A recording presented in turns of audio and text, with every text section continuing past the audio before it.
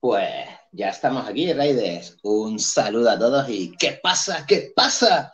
¿Qué pasa?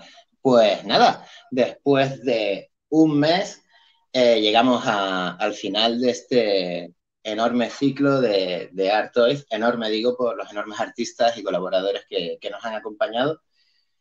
Y bueno, y muchísimas gracias de nuevo a todos los, que habéis estado acompañándonos eh, en el otro, desde el otro lado. Em, bueno, antes de, comenzar con,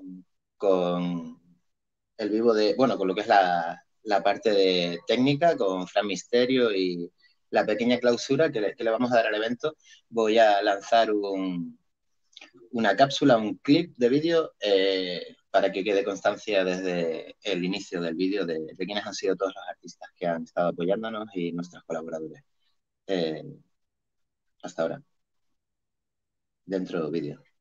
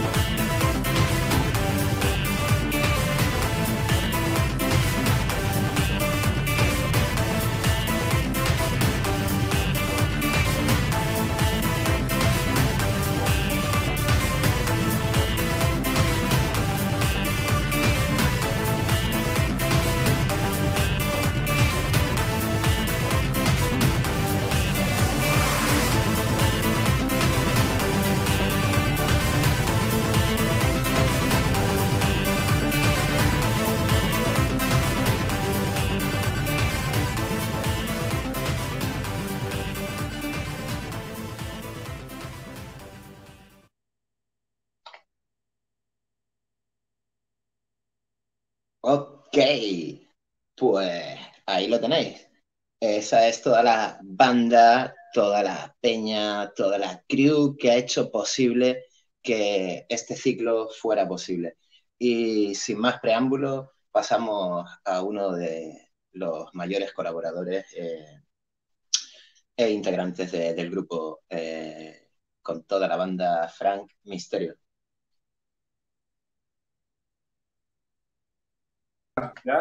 ¿Qué onda? ¿Cómo estamos? Ok, Frank. ¿Cómo estás, Un saludo. De nuevo, estamos juntos, Frank. Hemos llegado, por fin. Ha sido un esfuerzo enorme, pero aquí estamos, tío. Sí, pues ya que un mesecito, ¿no? De la, de la, esta plática que tuvimos. Y pues nada, ¿no? Sí, se ha habido muchas cosillas ahí interesantes en, en cuestión de mi trabajo, ¿no? Pero todo súper bien. Lo sé. Eh, ahora vamos a hablar de ello. Eh, voy a saludar aquí a la banda muy rápido. Un saludo para Plastimaniático, eh, para Arturo, ese coleccionista de multiverso, Jorge Lozaya, sociólogo, que no sé si te has enterado, pero quiere hacer un estudio sociológico para publicar en varias revistas científicas sobre este ciclo que hemos hecho. Ok, qué interesante está eso. Sí. un abrazo enorme para Jorge un abrazo para Lupiguetes Master Collector y su canal de YouTube, igualmente para Jugando con Enfoque. Eh, muchísimas gracias por estar ahí, eh, super fieles Raiders. Y bueno, sin más preámbulo voy a ponernos nuestro ambientazo y, vamos, vamos a, ir al lío, Frank. Ok, adelante.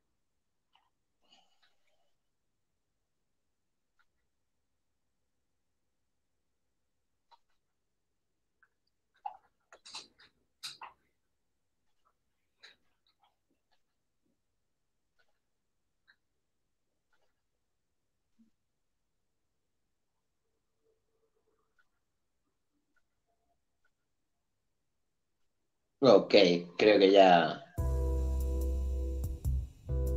Ahí estamos.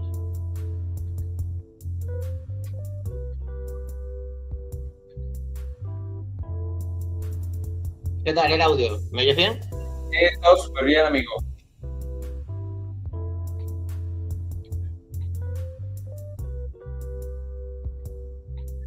Ok.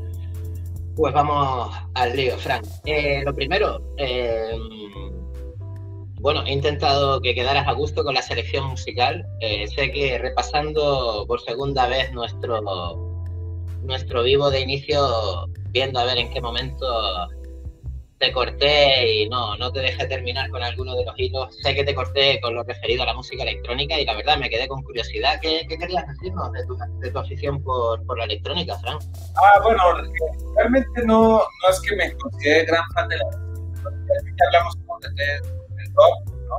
Que, ha sido por los que hay más de, DJs, gente que hace música mezclando un poco de reggae, ¿no? Podría, podría considerar un poco como, la electrónica, a lo mejor estoy erróneo, pero ya lo que para mí es, estos como, como relaciones, ¿no? Siempre he dicho, como que eh, ha estado mezclando ahorita con situaciones de música electrónica, es, lo que más me llama la atención como tal, El hiper scratchy, ¿no? O sea, que bueno, ya es un de antaño, ¿no? Pero hay como más actuales, ¿no?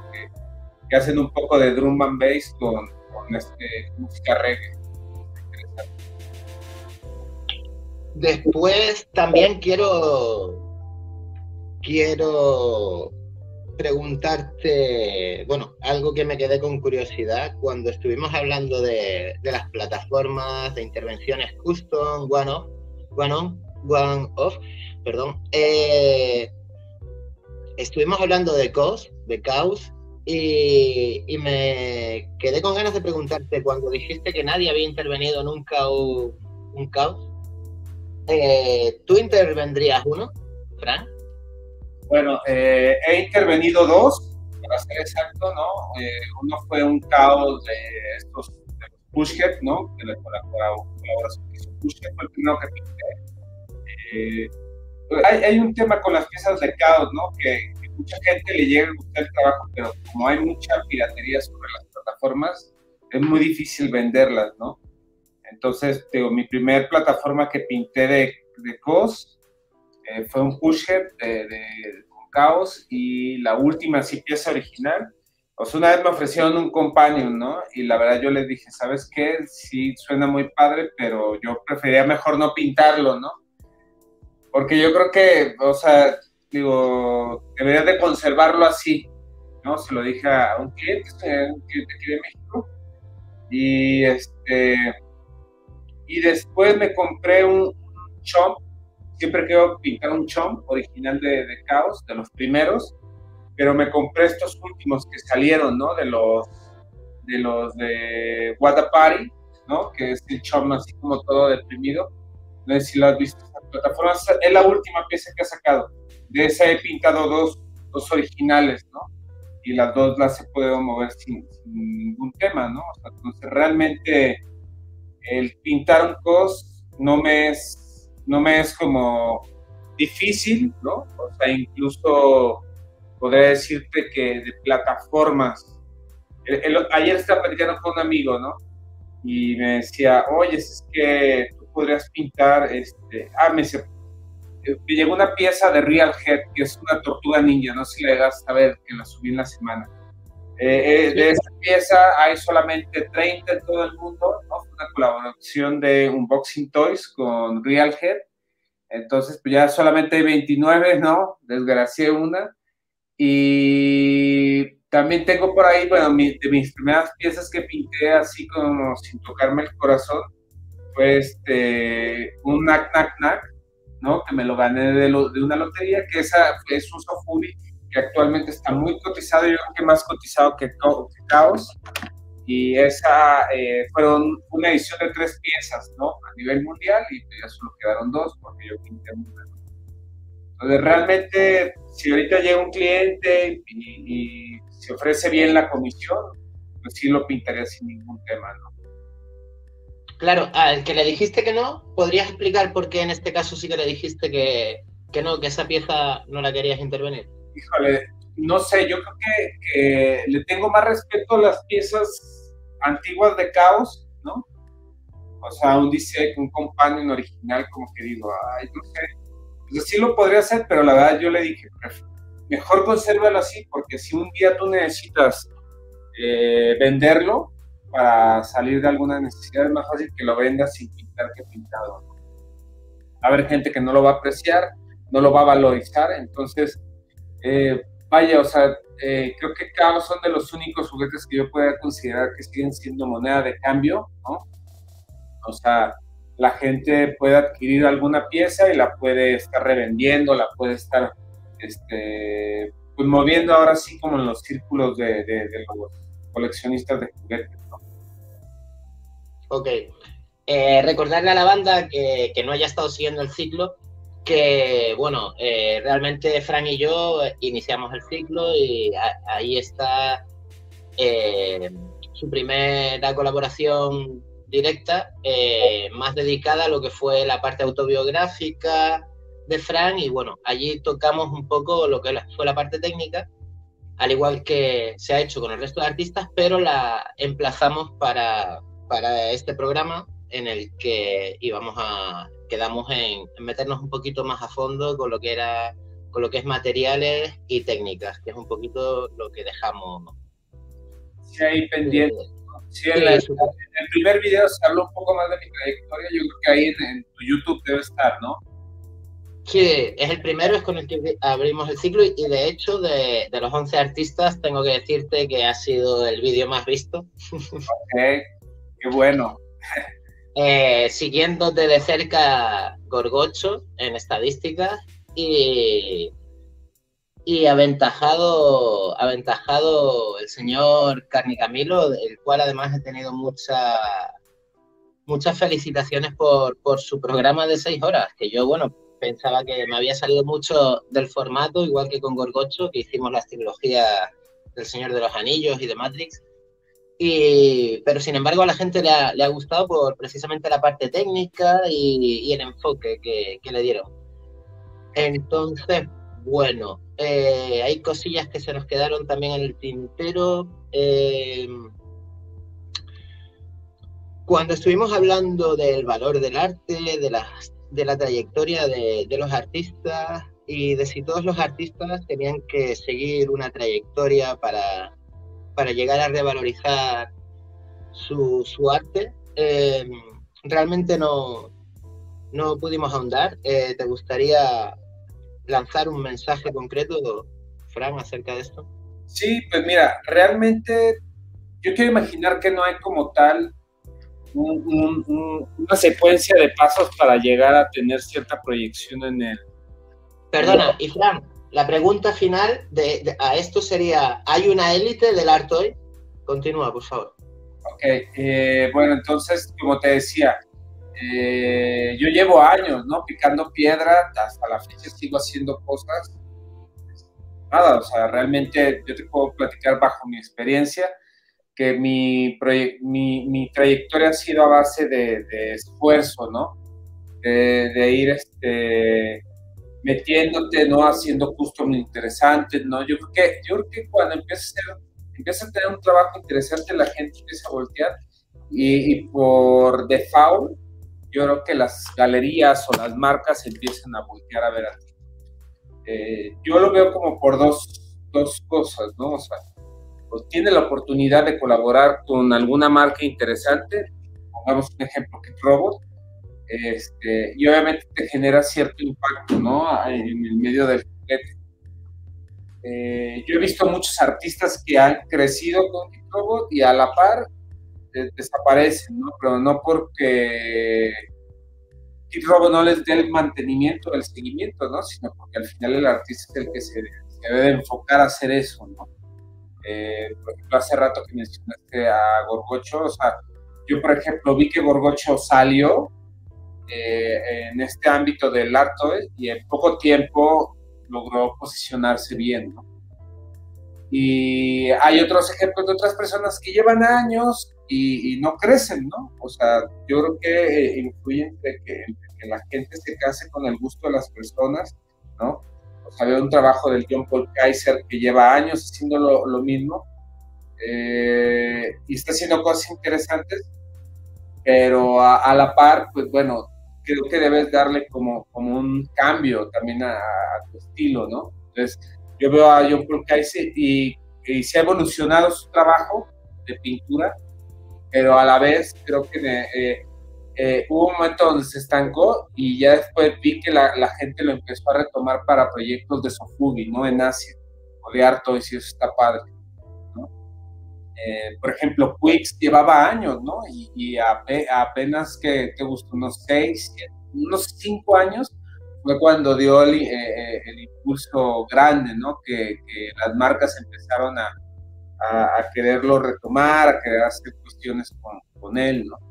Entonces, realmente yo creo que no hay como, como un ABC de esto, ¿no?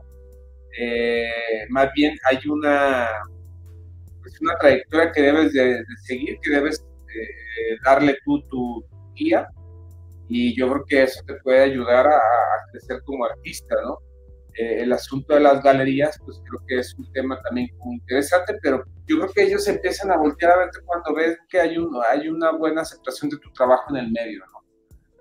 Este, y sobre lo que comentabas sobre que si hay una élite del arte, bueno, si lo vemos como por el lado de, de los consumidores, obvio que sí hay una élite, ¿no? O sea, hay, hay gente que pues básicamente están enfocadísimos a comprar juguetes, ¿no? A, hay galerías que están enfocadas a comprar para revender, ¿no? Ya hay otras personas que están enfocadas en comprar para coleccionar, pero pues, de repente, por, ejemplo, no sé si has visto el Instagram de Trump, que Trump e, es, eh, era como una Wikipedia que se generó hace unos siete años para como este, congregar todo el arte y todos los artistas y todo lo que estaba haciendo alrededor de, sobre el arte y sobre el Sofubi, ¿no? Era como una Wikipedia como tal, ¿no? Y en su Instagram suben colecciones muy fuertes, ¿no? De artistas, que sea, de, de, clientes que pues, me impresionan, ¿no? La cantidad de juguetes que, que adquieren al precio y las ediciones, ¿no? O sea, Chaos Dissect de, los de 1,80 metro, ¿no? Que solamente vende uno por, por apellido que son carísimos, ¿no? O sea, son un montón de situaciones. Este, voy rápido. ¿Te acuerdas que te dije que iba a bajar súper rápido? Ok, pues voy a aprovechar para lanzar tu, tu vídeo, ¿vale? Ok, no tardo. Venga, hasta ahora, Frank. Ah. Ok, pues vamos a darle un momento a Frank y aprovechamos para lanzar un pequeño clip que tenemos con producción de Frank para los que no hayáis visto su material dentro vídeo.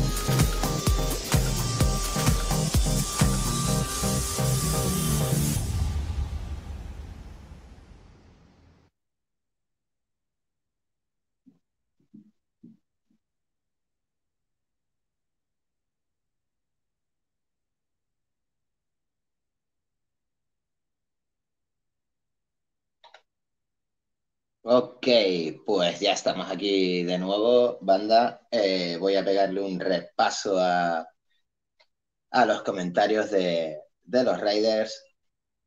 Eh, ese Diego Atsaikon, gracias por pasar, Anita. Igual, jugando con enfoque, creo que ya os he nombrado, Lupiguete, Arturo. Ok, ya está todo Hey, ese es Sergio Guerrero, el coleccionista. Un abrazo enorme. Gracias por pasar, amigo. Eh, mirad el canal de Sergio también, que es un gran coleccionista. Y bueno, él no le da al Artoy, pero le mete bastante caña a la epóxica y se curra algunas figuras articuladas bastante chulas. Así que pegadle un ojillo a su canal. Eh... Gracias, Chino Tata. Y bueno, vamos a regresar con, con Frank si me da un ok.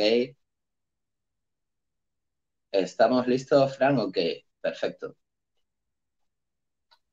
¿Qué onda? Nomás aquí bajé rápido por mi comida. Así que disculpa por Ahí teníamos, teníamos tu, tu clip preparado.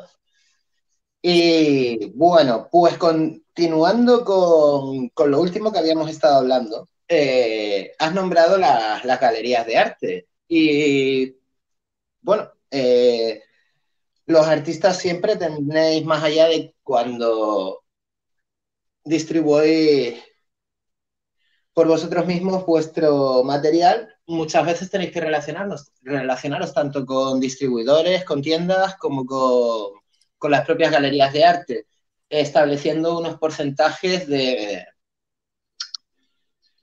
de colaboración, ¿no? Entiendo, o sea, bueno, de contribución. Sí, pues mira, eh, es muy ¿Qué pasa con esos porcentajes? ¿Cuándo son y cuándo no son justos? ¿Hasta dónde consideras tú como artista que puede un cualquiera de estos de estos elementos, sea distribuidor, sea expo, sea galería, hasta dónde eh, ecuánime y qué porcentaje crees tú que sería el justo? Mira, yo, yo de repente he platicado con amigos y hay gente que como que no le agrada mucho los porcentajes que llegan a, cobrar las, las galerías, ¿no? O sea, a veces te piden un 50, un 40, ¿no? Un 30%, varía demasiado, pero yo creo que también no, no estamos valorando el trabajo que viene atrás de, pues, de, de, todo lo que hace la parte de promoción las galerías, ¿no? Eh, yo, por ejemplo, he trabajado con Clutter Gallery, con ellos son casi el 50, pero ellos, digamos que dan promoción, toman fotografía, ¿no? Se la pasan este, haciendo mucha difusión, ¿no? Eh, creo que están empezando ya a tener sus exposiciones a nivel este, presencial, ¿no? Y eso, quieras o no, funciona, ¿no? Con Aarón de Martian es el 40, 60 para el artista, 40 para ellos. Pero pues realmente es, eh, por ejemplo, con Aarón yo no he tenido temas, ¿no? Básicamente eh, trata de que sean eventos grandes, igual da mucha difusión, y, creo que tratan de centrar mucho bien las exposiciones. Creo que, que, hasta el momento en todas las galerías que he trabajado no he tenido ningún tema en porcentajes. Eh, obviamente cuando uno vende por afuera es por sus tiendas, por sus medios, pues el que se gane uno el 100% es como muy interesante, pero a la vez también creo que los mismos clientes tratan de ser un poco como medios lógicos en su manera de solicitar, eh, este, de comprar alguna pieza, ¿no? Eh, a mí me ha pasado que, por ejemplo, he tenido piezas que se han vendido en mil dólares eh, en eventos como la New York Comic Con y está padre, pero si trato de vender una pieza en ese mismo precio en mi tienda, a veces pasa de que la gente como que no, no, yo creo que no la compra tanto porque piensa que no es algo exclusivo, ¿no? Al final digo, es mi trabajo, pero para ellos como que dicen, no, pero si fuera una pieza exclusiva de una New York Comic Con, debe de valer más. Entonces la, la pagan, ¿no? Y es ahí donde te digo, donde hace como, es importante las galerías, porque ellos son los que se encargan de meterte a los, a los eventos importantes y eventos grandes. La segunda opción es hacer lo que, lo, por ejemplo, como Javier Jiménez que hizo hace dos años, que fue a la New York Comic Con, ¿no? que él fue a vender directamente a Nueva York. Y, no sé cómo le fue, nunca platiqué con él qué, qué tal eh, estuvo su, eh, su, estadía ¿no? en, la, New York Comic Con. Pero yo creo que también no es fácil como llegar por primera vez, ¿no? Entonces, este, a mí me invitaron un par de veces, yo ya estaba como bien apuntado para ir y probar, ¿no? Y darme cuenta que capaz de que es una mejor opción invertir en un viaje a Estados Unidos a vender directamente con los clientes y evitar tanto las galerías, ¿no? De momento. Pero, pues bueno, por la pandemia no se pudo, pero yo creo que ahorita de las mejores opciones sí es trabajar con galería y obviamente tratar de llegar a acuerdos buenos en cuestión de porcentaje. Ok, Genial. Me, parece bien que hayas aportado esta opinión porque creo que es importante para los artistas noveles. Creo que, que deben de, como mínimo, tener esas nociones que acabas de dar.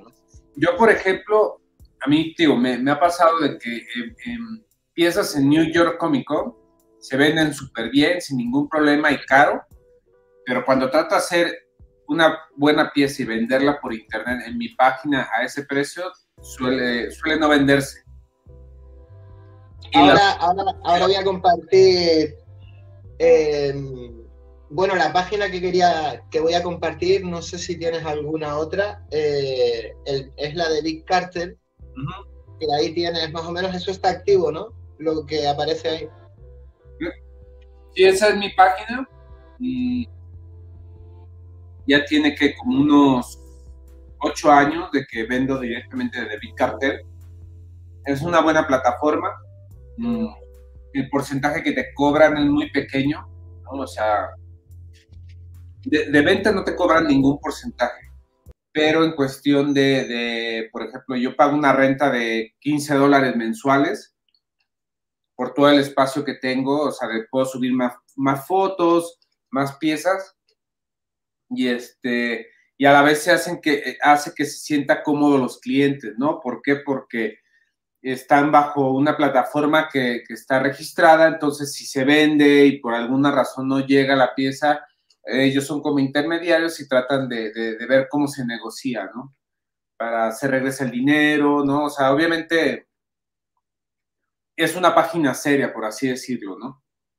Que si yo vendiera directamente por mi cuenta, probablemente también tuviera la, misma proyección, pero te digo, eh, el vender con una página como un Bitcartel o, o cualquier otra página o, un sitio personal, creo que, la ventaja que tiene es que le da confianza a los clientes de comprar, ¿no? Te digo, yo eh, he mandado piezas a Italia, a Francia, a Estados Unidos, a este, Asia, ¿no? O sea, un montón de partes y, al ver que ellos eh, les llegan las piezas eh, y que comparten fotos de que sí, mira, compré la pieza en tal lado, eh, se sienten como más tranquilos y la gente suele, suele comprar como con más facilidad en estos sitios, ¿no? Entonces, digo, es un respaldo, ¿no? El que haya algo como formal. Y si te fijas, no está como tan profesional la página, ¿no? Y, por, y las galerías sí tratan de dar como una presentación un poco más profesional, pero yo digo, mis, mis dos canales de venta es BitCartel y por Instagram, ¿no? O sea, me escriben directamente y sin ningún problema. La tortuga es la que está arriba, ¿no? Ahora la vuelvo a enseñar. Sí, ese es de Real Head, con Unboxing Toys.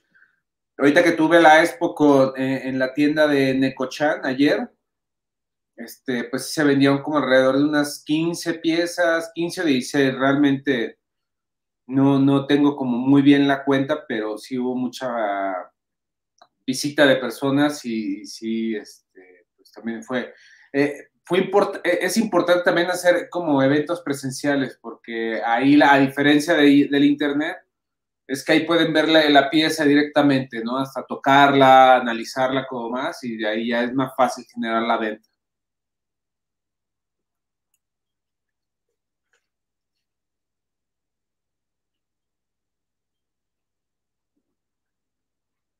Esa pieza está bien hermosa.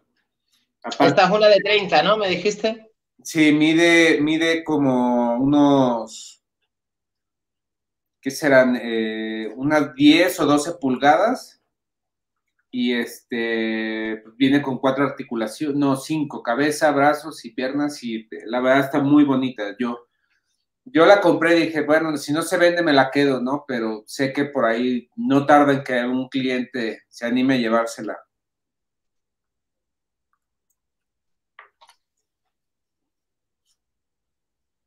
¿Alguna pieza que te guste particularmente que quieras que veamos? A mm. mí, a mí esta me encanta. Bueno, los Mitlan, esas son las, las nuevas piezas, el nuevo Sofubi que acabo de sacar. Yo creo que tiene, llegó como a la semana o a las dos semanas del en vivo que tuvimos, ¿no?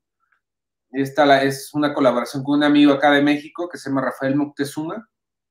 Y este, y tiene como tres, tres semanas, dos semanas que salió ya a la venta apenas está teniendo como buena difusión, es, es Sofubi, ¿no? Se, mandó a hacer a Hong Kong.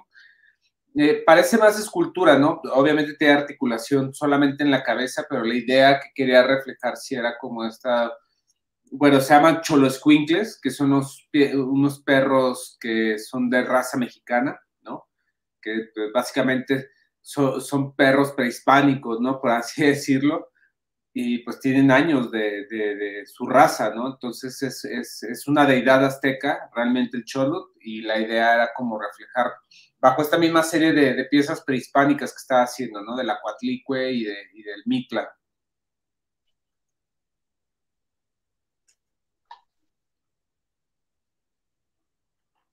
Chulísimo, Fran. Gracias. Trabajas muchísimo, yo te sigo, tú lo sabes que, me gusta mucho tu trabajo. Siempre procuro además servirte de guía. Eh, veo tu trabajo de manera masiva, yo creo que tú lo sabes. Y solo te doy like, me gusta todo tu trabajo, pero solo te doy like a manera orientativa, si no te daría like a todo, ¿sabes, tío? Sí, no, yo veo que luego así las mañanas, cuando me voy levantando, eh, que, que le das a mis historias, ¿no? Me encanta yo, ¿no? Pues que ahí él pone, anda con todo desde temprano. pues sí, procuro. Entonces, vale, vamos a, darle más cañita al tema. A ver, a ver qué más. Mm, ¿Quieres que.? Sí, no, vamos a, quitarnos ya de encima otra de, las cosas que nos quedaron. y así ya enlazamos con la parte técnica, creo yo. Eh, dame solo un segundo que, repaso mi chuleta, Frank, que sabes que no he tenido tiempo de preparar todos los banners.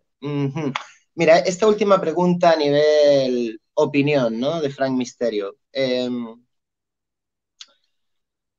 bueno, tengo un par de ellas, pero la, más importante, ¿no? A nivel personal. Em, ¿Crees que podríamos decir que después de todos los artistas que han pasado por aquí, a mí se me ocurre una idea, ¿crees que se podría decir que realmente lo que define el art hoy es el enfoque cultural y sociológico que le da a cada uno de los artistas que, que lo desarrolla? Eh, ¿podría ser esto lo que lo define y lo diferencia de, del juguete convencional?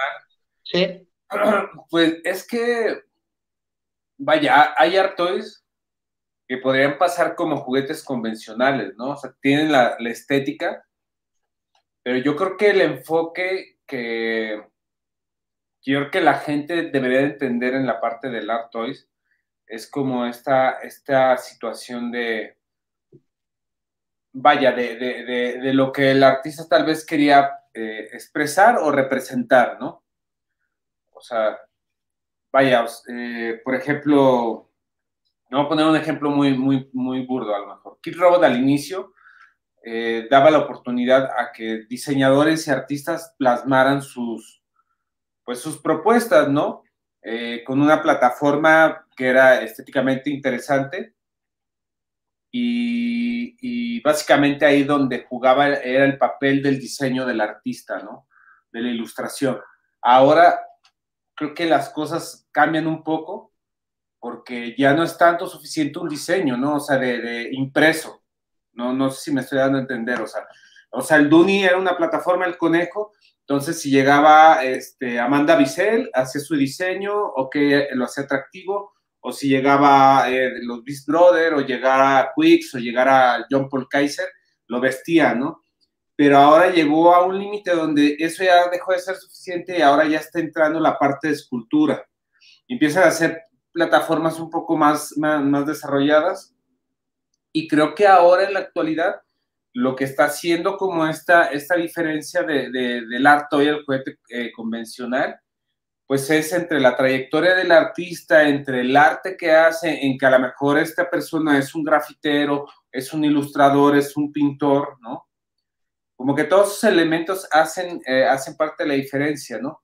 Y, obviamente, como, como, lo dije al inicio, ¿no? O sea, el cohete convencional como tal está desarrollado a lo mejor bajo alguna licencia y enfocado a un aspecto masivo, ¿no?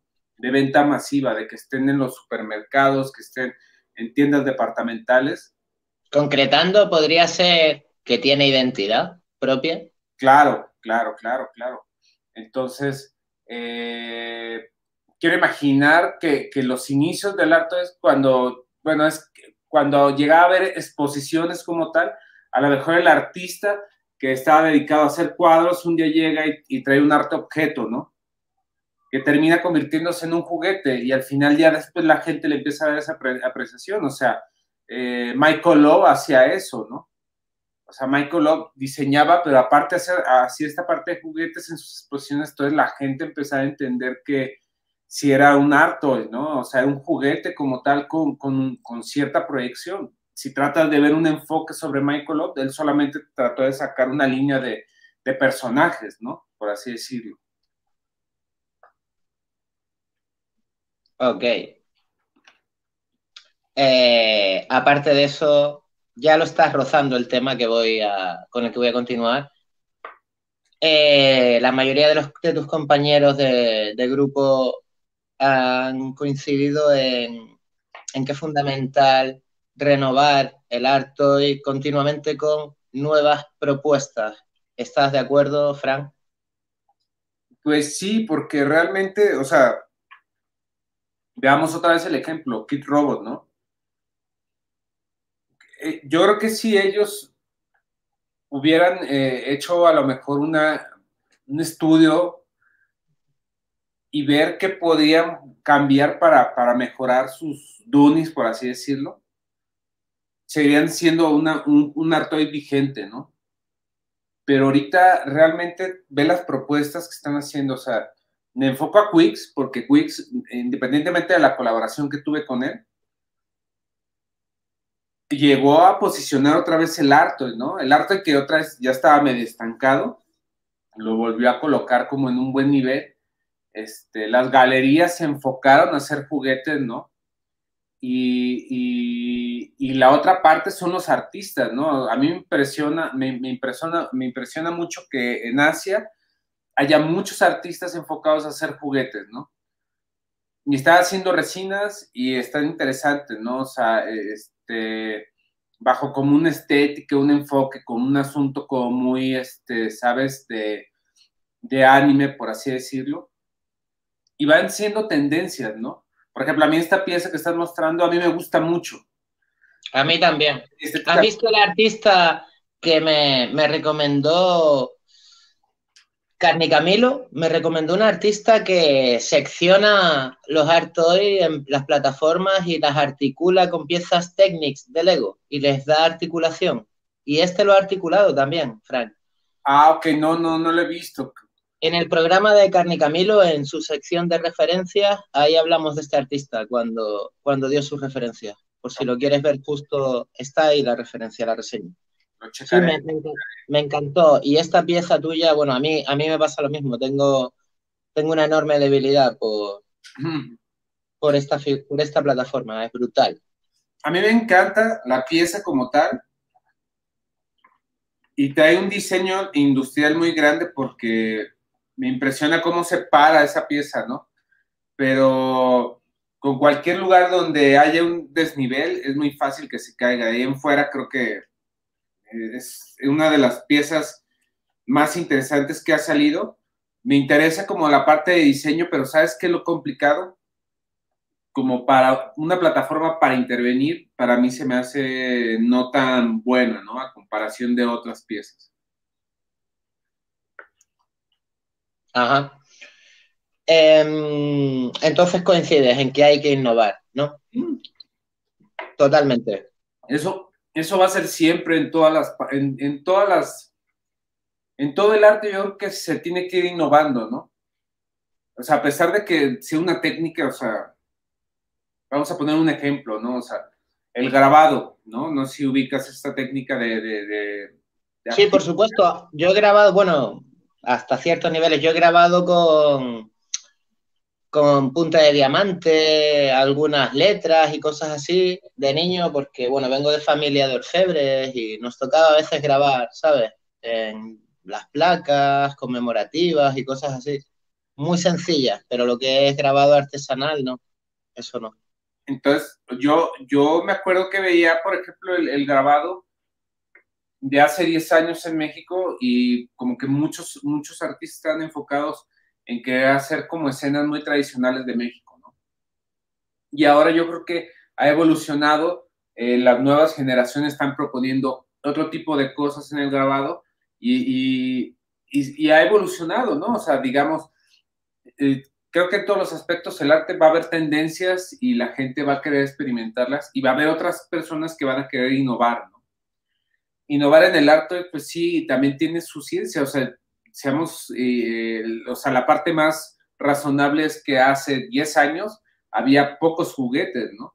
Había pocos artistas haciendo pocos juguetes y actualmente creo que eh, se incrementó un 50 o 60%, ¿no?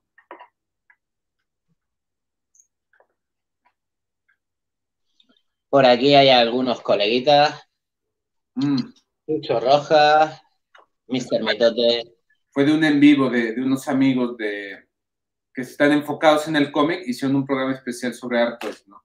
Básicamente, eh, pues ahí estamos los tres, eh, pues yo creo que de los artistas mexicanos más este, fuertes a nivel de artes, que es Chucho Rojas, Mr. Mitote y yo, ¿no? Tengo que hacerte un comentario, no sé si fuera de lugar, espero que no, pero bueno, mira, eh, nada, una, un detalle, eh, resaltar tu, enorme participación, eh, tu grandísima humildad y dar las gracias de nuevo a todos los que han participado en, el ciclo. Eh, es curioso que más allá de que tú hayas sido tan positivo y hayas hablado de que no hay una élite, sin embargo, cuando ofrecí a, a colaboradores, no a artistas, a artistas, todos han querido colaborar y incluso he tenido que, dejar a la gente atrás porque, bueno, sabes que teníamos ya todo el programa hecho y en cualquier caso, sí ha habido una élite de algunas personas que, que rechazaron, rechazaron participar aquí y no me hubiera importado, o sea, no me hubiera afectado, tampoco que me haya afectado, pero no me hubiera o sea, ha habido gente que no ha participado porque no, ha podido y ha habido gente que no ha participado porque no ha querido. Pero los que sí que me han llamado la atención han sido aquellos que no han querido participar porque creían que mi canal era un exponente muy pequeño, que ellos estaban a otro nivel y que no les merecía la pena pasarse por aquí ni a hablar del Artoy ni a, ni a dar su, su punto de vista dentro de la comunidad lo cual, bueno, eh, lo acepto con total normalidad, pero qué menos que reseñarlo como uno de los pocos aspectos negativos que, tengo que reseñar del ciclo, ¿no? Ver ese pequeño porcentaje de gente que sí que cree que está por encima de otros. Y la verdad, me extraña, eh, habiendo tenido por aquí a enormes colaboradores como David Usero y, y el señor Oscar de Viniles Chile. Pero bueno, ya te digo, no sé en qué se basaban, porque no creo que fuera ni en recorrido vital, ni en número, ni, ni pues siquiera, en, ni siquiera en, humildad. Pero bueno, ahí lo dejo, Y por continuar ya con... ¿Tienes algo que decir acerca de esto? Sí, yo creo que al final, eh, podrás tener los motivos para decir si participo o no participo. Yo realmente siempre trato de, de que con cualquier este medio o, o galería, ¿no? Que me llegue a ofrecer participar o colaboración, siempre trato de decir que sí, ¿no? Sea grande o sea pequeña, simplemente el hecho de que alguien esté volteando a ver mi trabajo y que les, le interese, para mí es importante, ¿no? Este, creo que hasta la fecha no he renunciado a nadie de decirle, ¿sabes qué? No, no puedo porque yo siento que soy más mejor que otras personas. Hasta el momento no. Y yo siempre les he dicho a muchas de las gentes, pues, que luego ve, llega a ver como este tipo de rivalidades, ¿no? De decirle, pues bueno, ¿sabes qué? Si tienes esa visión o esa mentalidad de que eres mejor, pues demuéstralo, ¿no? Demuéstratelo a ti ni siquiera me lo demuestres a mí o demuéstraselos a la gente, ¿no? O sea, creo que, creo que si eres talentoso, a lo mejor ni va a ser necesario el tener que, que demostrarlo, ¿no? Pero, por ejemplo, está un gorgocho que tiene un talento súper increíble y él también siempre trata de colaborar contigo. Y digo, eso está padre, ¿no? O sea, y, y te das cuenta que pues hay artistas humildes, ¿no? Y de eso se trata, ¿no? Eh, yo creo que es el aspecto más de humildad, que, y, y no tanto como decís, sí, yo soy mejor o peor, ¿no? Pero bueno, no, no, no, no nos metamos tanto en ese tema. No. Por aquí está la foto de, tus creaciones propias. Entonces ya creo que hemos tocado todo lo que quedó en la recámara y ya podemos pasar a lo que mucha gente, eh, los de hueso más duro y colorado, estaban esperando. Eh, ahora sí nos ponemos un poquito más serios, Frank y yo, y vamos a hablar tanto de sus intervenciones, sobre qué plataformas, cuál sería la plataforma que no has intervenido, que más te gustaría intervenir, cuál es tu plataforma favorita para intervenir, tanto propia como de otros artistas, y en las plataformas propias, cuál es el proceso de, desarrollo para la creación desde, yo ya lo sé, desde que tú lo bocetas hasta, hasta que pasa por, por manos de Jack Muñoz eh, y luego ya se imprime y ya lo tienes tú en tus manos. Eh, bueno, se imprime o se, o se manda a... Sí, a la fábrica, ¿no? Sí, a fábrica. Ahorita... Y cuando te llega, igualmente, si puedes aconsejar algunos materiales de los que utilizas, pues es lo que mucha gente está esperando, Frank. Así que okay. eh, está, todo en tus manos. Bueno, si quieres, empecemos por partes. Vamos a hablar sobre las plataformas que, que de, de, las que más me han agradado para intervenir, ¿no? Este, yo creo que de todo, de todo, de todas las piezas que he pintado, la verdad desconozco ya el número, pero hay dos en específico, ¿no? Eh, es eh, las piezas de Quartz Toys, lo que es el Pau, el Pau, eh, el conejo, ¿no? El que salió, y el Yao, ¿no? Que es el, llegué a pintar solo una de, de, las versiones originales de las primeras que habían sacado que venían con los tenis bands. Ya después pinté como cuatro de los nuevos que son más pequeños, pero yo siempre me quedé como muy, muy bueno. A pesar de que no son plataformas para intervenir, eran piezas que, que en lo general me, me, gustaban mucho, ¿no? Y en el Sofubi creo que, que, que las piezas que llegan a tener como mayor textura son las que más me agradan, ¿no? En general creo que todo el Sofubi que he pintado me ha gustado, ¿no? Pero así en particular que te diga, uy, esta pieza me ha encantado como para pintar, este, ha sido las, eh, se llama Sub, que es de Mutal Vinyl Hardcore, que es como, como un ogro, ¿no? Que, que realmente es una de las piezas que, que hasta la fecha cuando llego a ver alguna a la venta, trato de comprarla, ¿no? Me, me agrada mucho su, su toal estética que tiene, ¿no? Y, y, son como dos cosas diferentes, porque por ejemplo el Rao y el Yao es, son piezas que utilizo más para pintar con pincel, ¿no? Incluso los Tech de, de Quicks me gustan, ¿no? Pero yo siento que están limitados a ciertas cosas. Eh, por ejemplo, la parte de la cara, eh, ahí la, eh, fue escultura aparte lo que le hice, pero el hecho de que tengan como solamente los dientitos, todo eso, te limita a eso. Pero de ahí en fuera, creo que la parte de la chamarra está interesante, sería bueno a lo mejor ver de, alguna manera el quitarle los tenis. Sería genial que, que, tuviera diferentes tipos de tenis, ¿no? Porque tienen estos, como los Adicolor de, de Adidas, pero estaría bueno que hubiera unos, unos Air for One, ¿no? O sea, tenis que pudieras ahí tú manipular. Y bueno, y de mis piezas personales que más me agrada pintar, pues yo creo que es el primitivo, ¿no? O sea, realmente a mí me gusta como toda su estética. Cada vez que la pinto cambia algo, le veo algo diferente y eso me agrada demasiado. E incluso ha sido la que más he pintado, ¿no? Es el Cangrena, que fue como la, segunda edición de este, ¿no? Y, el Mitlan, creo que el Mitlan me agrada mucho porque también como que cada vez que, que, cada vez que veo que otro artista lo pinta, le veo otras cosas, ¿no?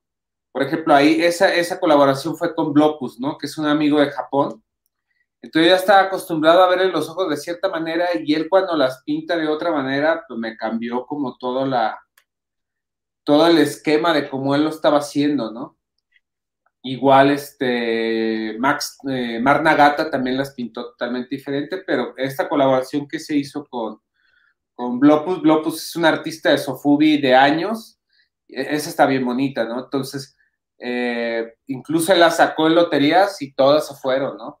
O sea, ya tiene un, trabajo muy interesante, tiene un talento muy impresionante y, son de los artistas más antaños de Sofubi, ¿no?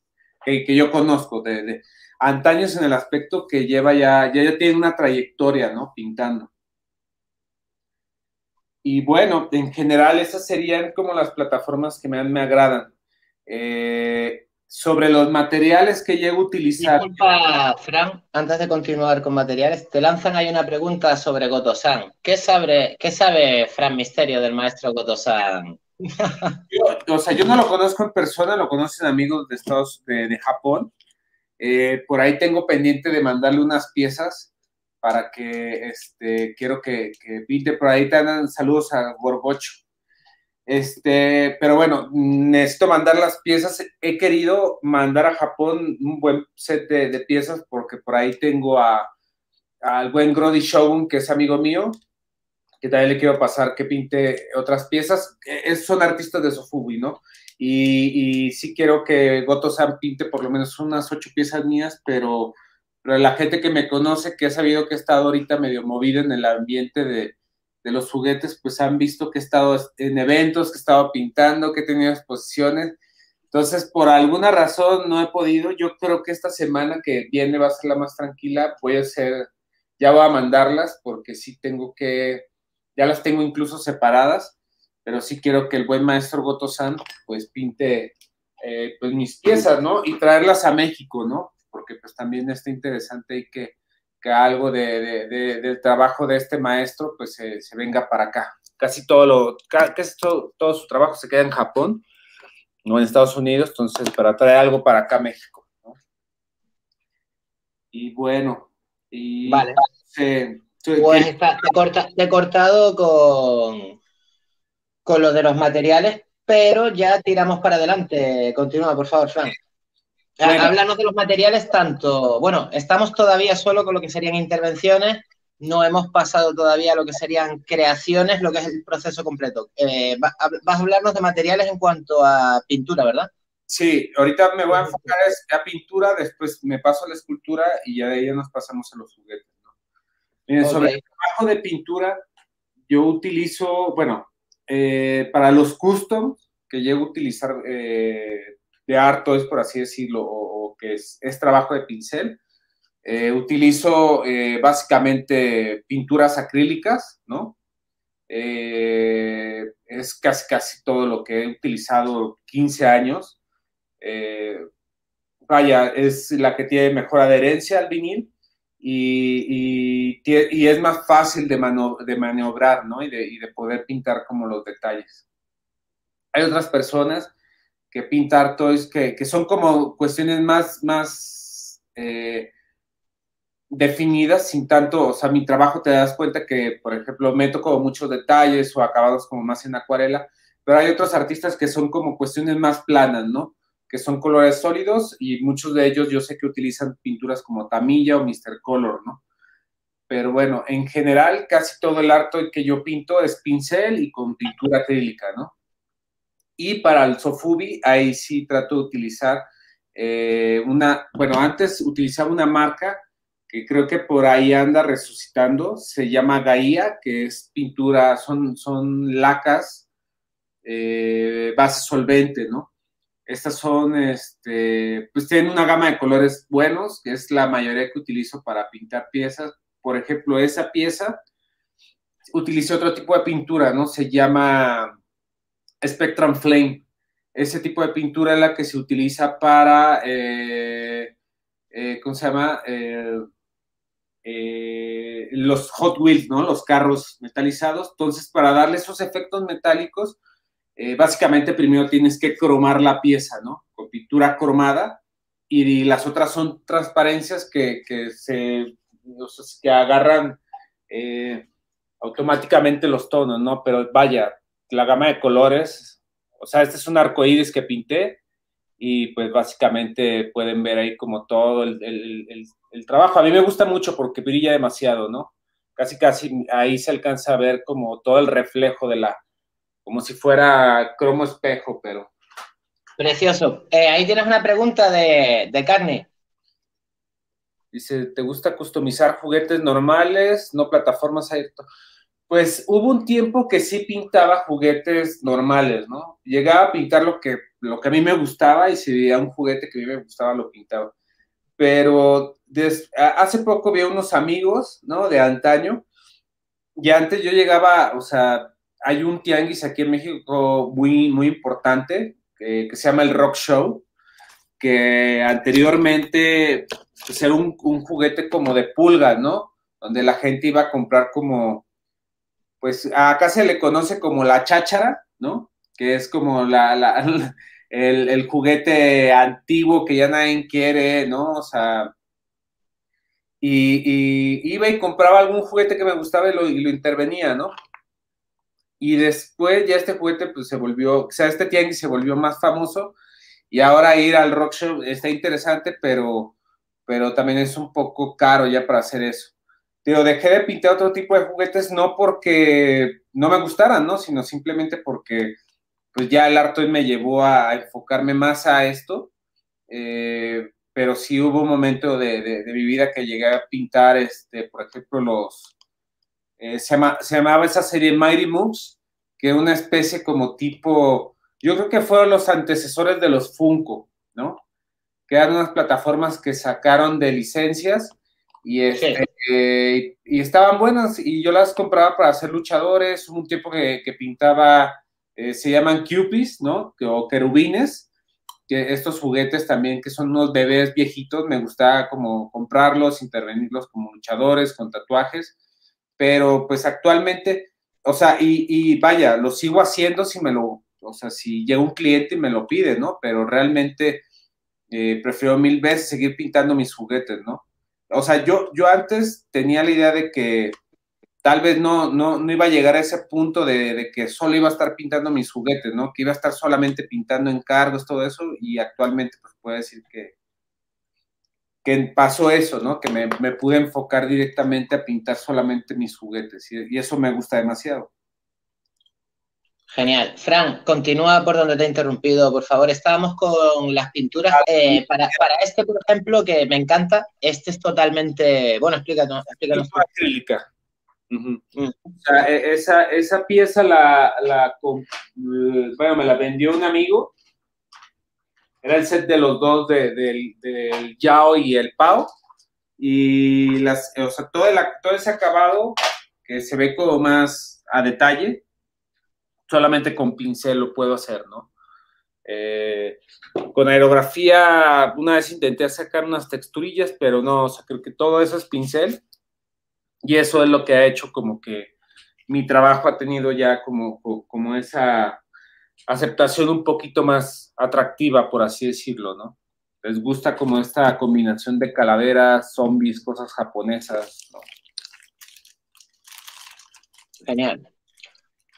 Eh, voy a marcar algunas piezas que me gustan, que me gusten a mí, así, que me llamen muchísimo la, atención de todos los pedazos de, de intervenciones que, tienes por aquí, pero hay algunas que son espectaculares. Eh, no sé, a ver si cae alguna de mis favoritas. Bueno, esta me encanta.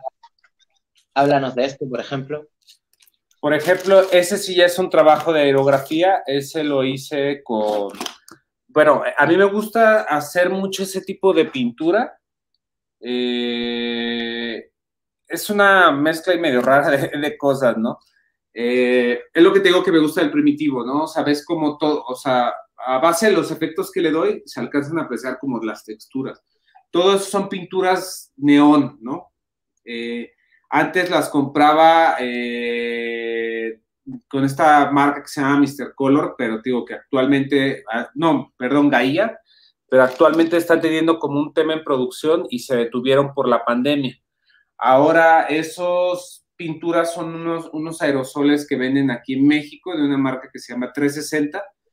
Son colores neón, la pieza es azul, entonces, cuando las partes como moradas que alcanzas a apreciar realmente son rosas, ¿no? O sea, la pieza es totalmente azul de la foto. Entonces, con el, aerógrafo pinto ciertas partes metiendo ciertos ángulos de la pieza. Y vaya, son tonos entre verdes, que eh, más bien son amarillas fosforescentes, que, que con el azul agarran como unas tonalidades verdes todos son neones y, los como violetas, fuchsias y rosas, solamente rosa fosforescente, ¿no? Por ahí se ven como unas partes oscuras, son morados, pero solamente ese trabajo se logra así como con, ese tipo de pinturas, ¿no? A mí me agrada como mucho y aparte ya con luz UV ah, dan un cambio interesante, bien bonito, ¿no? No sé si por aquí hay alguna foto que podamos enseñar justo ahora. Ah, pues fíjate, si quieres, regrésate de las primeras del inicio, ahora que, que estuve con la expo con Neko, ahí en su tienda, eh, subí algunas de, las que tomé de color neón. Por ejemplo, todo eso es con luz neón. Entonces, la pieza que vimos hace rato, con esas, ese tipo de pinturas se alcanza a apreciar así, con la luz UV. Todo eso son con las, las eh, Spectrum Flame, que digo, hay que cromar la pieza y después ya se pinta con eso. Y nada, o sea, pues son como los dos tipos de pintura que, estoy utilizando mucho. Por ejemplo, todo eso son colores neones, ¿no? Los que pasaste. La pieza es rosa fosforescente y ya nomás metí como tonos entre verdes, en rosas. Y esa, y esa pieza con luz neón se ve súper buena, ¿no? Pareciera como si, si estuviera eh, como en negativo, ¿no? Como si estuviera en negativo y, eso es lo que, lo, que hace que se vea interesante. Aquí, ¿qué, ¿qué, nos cuentas de esto? Todo eso es pintura acrílica, ¿no? Es pintura, eh, fue un trabajo que hice a pincel, básicamente, y pues nada, me agrada como darle ese contraste, ¿no? Eh, muchos luego me dicen, no, es que es como lo que hacía Paul, eh, John Paul Kaiser, ¿no? Y sí es algo un poco similar, pero lo que yo le trato de dar es como más este efecto de cómic, ¿no? O darle como estos achurados, como estos trazos de, de, Totalmente, es lo que recuerda. Y hay otras piezas, por ejemplo, ahorita el, que, el Yao que vistes, tú ves ese Yao y dices, bueno, es como un zombie todo ahí podrido, ¿no? O sea, y sí se despega mucho de lo que hace John Paul Kaiser, ¿no?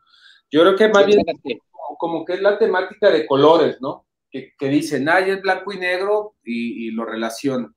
Esa, eso fue ayer apenas, eso es en Nueva York. Fue con los amigos de Clutter Gallery. Eh, fue una, eh, una, exposición de, eh, se llama Rainbow, ay, no recuerdo la, la, exposición, pero el nombre, pero haz de cuenta, te asignaban un color entonces toda la galería, toda la pared de la galería la pusieron como una colorimetría de, de, arco iris, ¿no? O sea, hubo artistas que pintaron piezas amarillas, otras verdes, otras rojas, otras rosas, otras moradas. Entonces, este, la idea es hacer como todo un arco iris, ¿no? Ahorita están las piezas a la venta y pues mi pieza que, yo mandé, yo hablé con, con Miranda O'Brien, que es la directora, la dueña de la galería, y yo le dije, sí, participo, pero ¿te parece si yo puedo pintar todas mis piezas eh, como de, con esta tonalidad arco iris que ya también como que me ubican por eso? Y me dijeron, sí, entonces yo mandé seis piezas con toda esta gama de colores. Y las mías las pusieron en la entrada de la galería, ¿no? De la expo. Esa foto que viste, pues era, era la mía, ¿no? Ok, les he estado aquí enseñando un poquillo su página para que quedaran reseñados, Clatter Magazine. Sí, está en Nueva York. Ahorita hay piezas ahí en venta mía. Y este, y al parecer, pues con ellos. Bueno, eso, eso te lo platico más adelante, ¿no? De, de los proyectos a futuro que se vienen.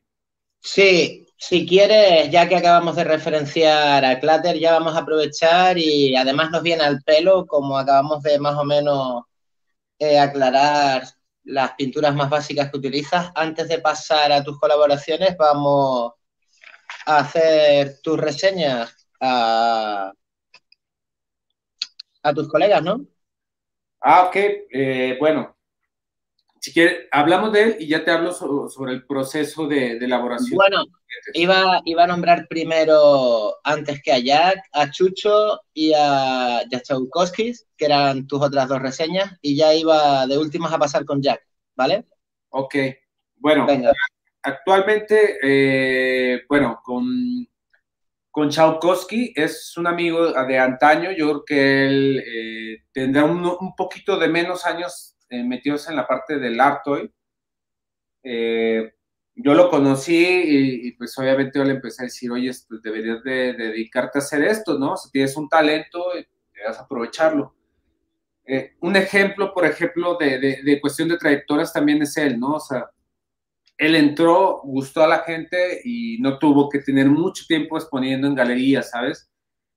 Era como, más enfocado y él, él, hizo algo bien importante. Él sí fue a, la New York Comic Con y, le agradó mucho, ¿no? A la gente y ese tipo de presencia, pues a, ellos les, les llamó demasiado la atención. Eh, es excelente escultor, ¿no? Tiene un estilo ya muy, muy, muy marcado y este, y no sé, o sea, él, con él el primer Artoy que tenía pensado sacar, eh, lo habíamos desarrollado él y yo, se llamaba Caruso, ¿no? Fue una pieza que al final no se hizo. Después, más adelante, él ha tenido colaboraciones con Kid Robot. Y él más adelante, pues me ayudó a, a, a mi primer Sofubi, ¿no? Que fue mi primer pieza que hicimos. Eh, eh, bueno, que yo hice, que mandé a hacer a Japón, que es esta. Pero él me ayudó a, a la parte de escultura, ¿no? Y ahorita voy a hacer una pieza Ah, mira, les muestro. Esta es el anticristo, esta es mi primer pieza, este es Sofubi japonés. Eh, actualmente esta es, es, la segunda reedición en Clear. La hizo un amigo de Japón que se llama es, es Patrul. Y pues nada, ¿no? O sea, toda la escultura me ayudó a hacerla eh, Chaukowski. Y pues nada, es una pieza que, que, le tengo con mucho cariño. Fue la primerita. Y pues no, no hasta la fecha sigue, sigue estando ahí vigente, ¿no? Y por ejemplo, ahorita que estabas mostrando su Instagram, este, por ahí estabas mostrando una imagen y una pieza que ahí se nos estaba ocurriendo, ¿no? Eh, que no, no es esa, no, es otra. Esa, que... esa, no, esa no, ¿no? El, eh, ese, ese toy no era. No, el que está al lado, bueno, si quieres, dale, no, arriba, eh, donde está el molde de cobre, que ese es el, el, primitivo gigante, ¿no? Que va, va, a salir ya en septiembre. Él me ayudó a replicar mi escultura del primitivo, pero a tamaño gigante. Y la escultura que está a la derecha eh, ah, es, es, una. Uh -huh, eh, es una pieza ahí que tenemos una idea un poco medio fumada, por así decirlo. Este, hay una escultura un poco eh, conocida a, a, nivel mexicano. En México la ven mucho como un aspecto de, de ¿cómo decirlo? De, de, adorno para los jardines, ¿no? Eh, esta escultura se llama El Mexicano Dormido, que realmente es un, es un, es esta la figura, ¿no? Tengo una aquí, que es como un, un mexicano así dormido, ¿no? realmente. Entonces, eh, tenía la curiosidad de hacer un juguete con él, ¿no? Y por ahí se, fusionaron un par de ideas. A lo mejor no sería bueno adelantarme hasta que ya empecemos a trabajarlo, pero trae un, o sea, básicamente el concepto sí es el mexicano, pero lo estamos fusionando ahí con, un personaje del cine eh, hispanohablante, por así decirlo. Eh, si alguien sabe un poquito de cine de arte, se dará cuenta que el personaje que está ahí es de... Eh, ¿Has visto la película La montaña sagrada de, de Jodorowsky? Ya la referenciamos tú y yo en el primer programa. Ya está. Yo pensé, lo iba a decir como sorpresa, pero bueno, básicamente es, es el avance en la escultura. Entonces, más o menos es la que te mostré. Y pues nada, o sea, eh, ya le dije que primero saquemos el primitivo y ya después vamos a ver la segunda pieza. Y, Walter, pues, tiene un talentazo, ¿no? Es súper bueno, tiene ya sus años ahí en el, en el ámbito, creo que es, pesa más su trabajo de escultura, ya está más enfocada en eso y no tanto como enfocado en la parte de, de, hacer más cosas. Este es su Sofubi que también hizo en Japón, el Guajolot. Y precioso, precioso. Yo creo que, que también tiene hambre de querer hacer cosas, de querer hacer piezas este, y, pues anda ahí este, picando piedra de nuevo, ¿no? Porque él se, se, alejó un poco de, esto de los juguetes, pero lo quiere retomar ahí con fuerza, ¿no? Y Teo Pelal es un excelente escultor, ¿no? Brutal. Vale, pasamos con el siguiente. Sí, yo creo que sería Chucho Rojas. Él él me ha ayudado en dos proyectos, bueno, en tres proyectos en sí. Uno fue mi segundo Sofubi que mandé a hacer también a Japón, que se llama El Narquito, que también apenas pude volver a, rescatar, ¿no? Este, en general esa pieza, pues para mí, pues bueno, me, a pesar de que tiene un tema ahí medio fuerte con la situación social, política de México, porque estamos viendo básicamente al Chapo Guzmán hecho un juguete. Eh, pues bueno, eh, la historia es un poco medio, medio extraña, pero bueno, yo decidí sacar esa y bueno, Chucho Rojas me ayudó a hacer la parte de escultura, ¿no? Me ha hecho como tres esculturas, también me hizo un ajolote y por ahí tengo otra escultura que me, que me ayudó a hacer, que es el Lucha Sila, pero ese todavía no lo he sacado. Yo creo que, yo creo que el próximo año ya lo debo de sacar, ¿no? Por estar sacando como 20 mil cosas. Y pues bueno, en general, Chucho creo que es uno de los escultores más reconocidos actualmente en el ámbito de, cuestiones de juguete, de, de, personaje, de creaciones de, ya sabes, como hace muchas cosas para, para trabajar. Este, esta es colaboración con, con mi tote para, el proyecto este de, los perritos, ¿no? Sí, sí, es una pieza ahí que desarrolló con, creo que para Motorola. Sí. Y, bueno, ya creo que esta escultura ya es 3D. No estoy seguro si, o sea, no sé cómo lo está trabajando él. Ya tiene un tiempo que, no he sabido de sus procesos de, de Chucho, pero en general que, que imprime en 3D, tratan de que quede lo más liso, hay que pulirlo, hay que definirlo y ya sobre eso creo que sacó las resinas, ¿no? En general, creo que, pues bueno, a lo mejor fue lo que solicitó Motorola, ¿no? actualmente creo que tiene un, bueno, vamos a estar en un bazar en 15 días que se llama Plástico Macizo, que va a ser, eh, lo está desarrollando ahí Oscar. Sí de Chile. Lo estuvimos anunciando ayer, bueno, antes de ayer, en, la parte final de, los colaboradores. Y al parecer va a llevar esas tortugas ninja, ¿no? Como, como, como una edición exclusiva para el evento. Eh, en general, a mí se me hacen increíbles, ¿no? O sea, es un trabajo súper chido. Este, yo creo que para los fans de Tortuga Ninja, pues está súper bien, ¿no? Eh, yo a veces tengo ahí como ciertos conflictos, ¿no? A mí me gusta, digo, demasiado el trabajo de Chucho. Eh, el aspecto, pues, como que, que, a veces he platicado con amigos, ¿no? De, ha hecho como sus proyectos de, personales de querer hacer un art toy. Tiene por ahí un juguete que se llama Pete. Igual creo que por ahí una de sus historias se veía, ¿no? Es la tercera historia destacada. Esa era. Ese fue un art toy que él sacó. Bueno, más bien ese es como, era la base, o no sé si es esa. Pero era un personaje un poco parecido. Y, yo creo que iba con esa intención de, explorar el mundo del arte y, y, en una plática él me dijo, no, no, no ha recibido la, aceptación que me gusta. Más bien la gente le gusta como ver este tipo de, yo no, no sé si sería un fan art, como hacer estos, estas eh, opciones de, ya sabes, como Tortugas Ninjas, Homero Simpson, He-Man, los Thundercats, ¿no? Como en sus versiones de Chucho, ¿no? Sí. Que obviamente para, es lo que te digo, para los coleccionistas enfocados en ese tema, pues para ellos es como una, pieza exclusiva, ¿no? Y está padre, o sea, está bien. Al final es el, trabajo de Chucho, ¿no?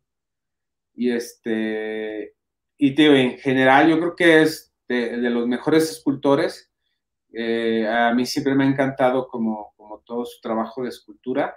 Eh, esa tortuga es como, como la versión de cómic, ¿no? Sí, las NECA.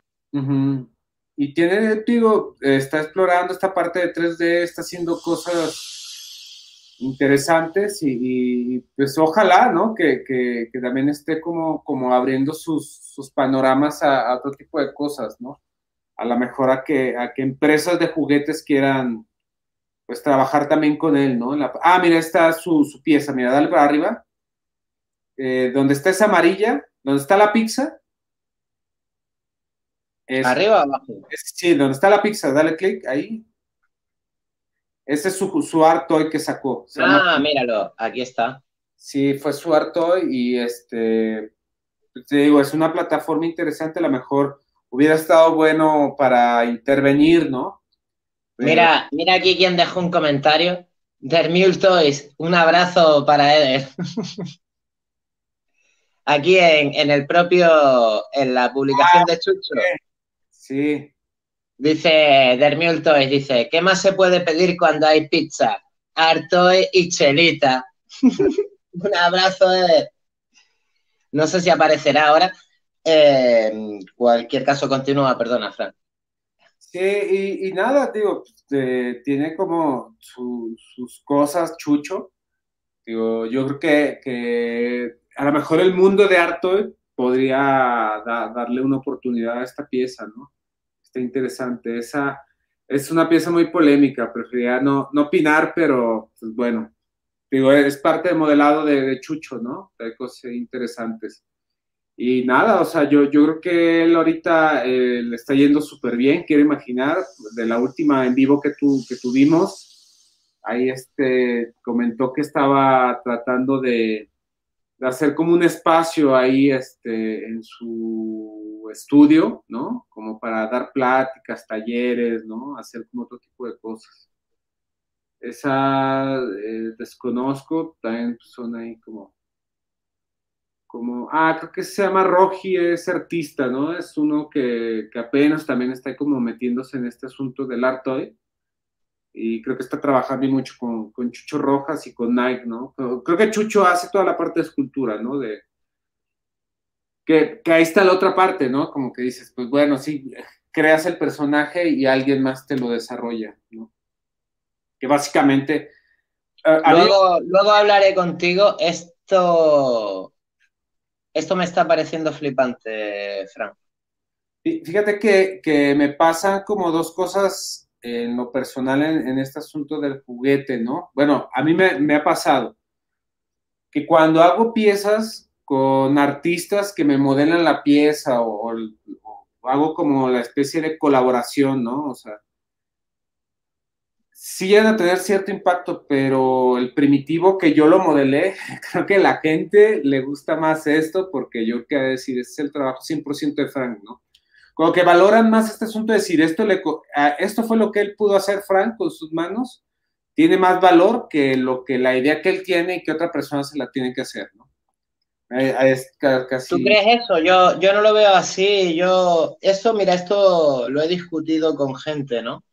Por ejemplo, tú sabes, muchas veces te he reseñado esta pieza, ¿no?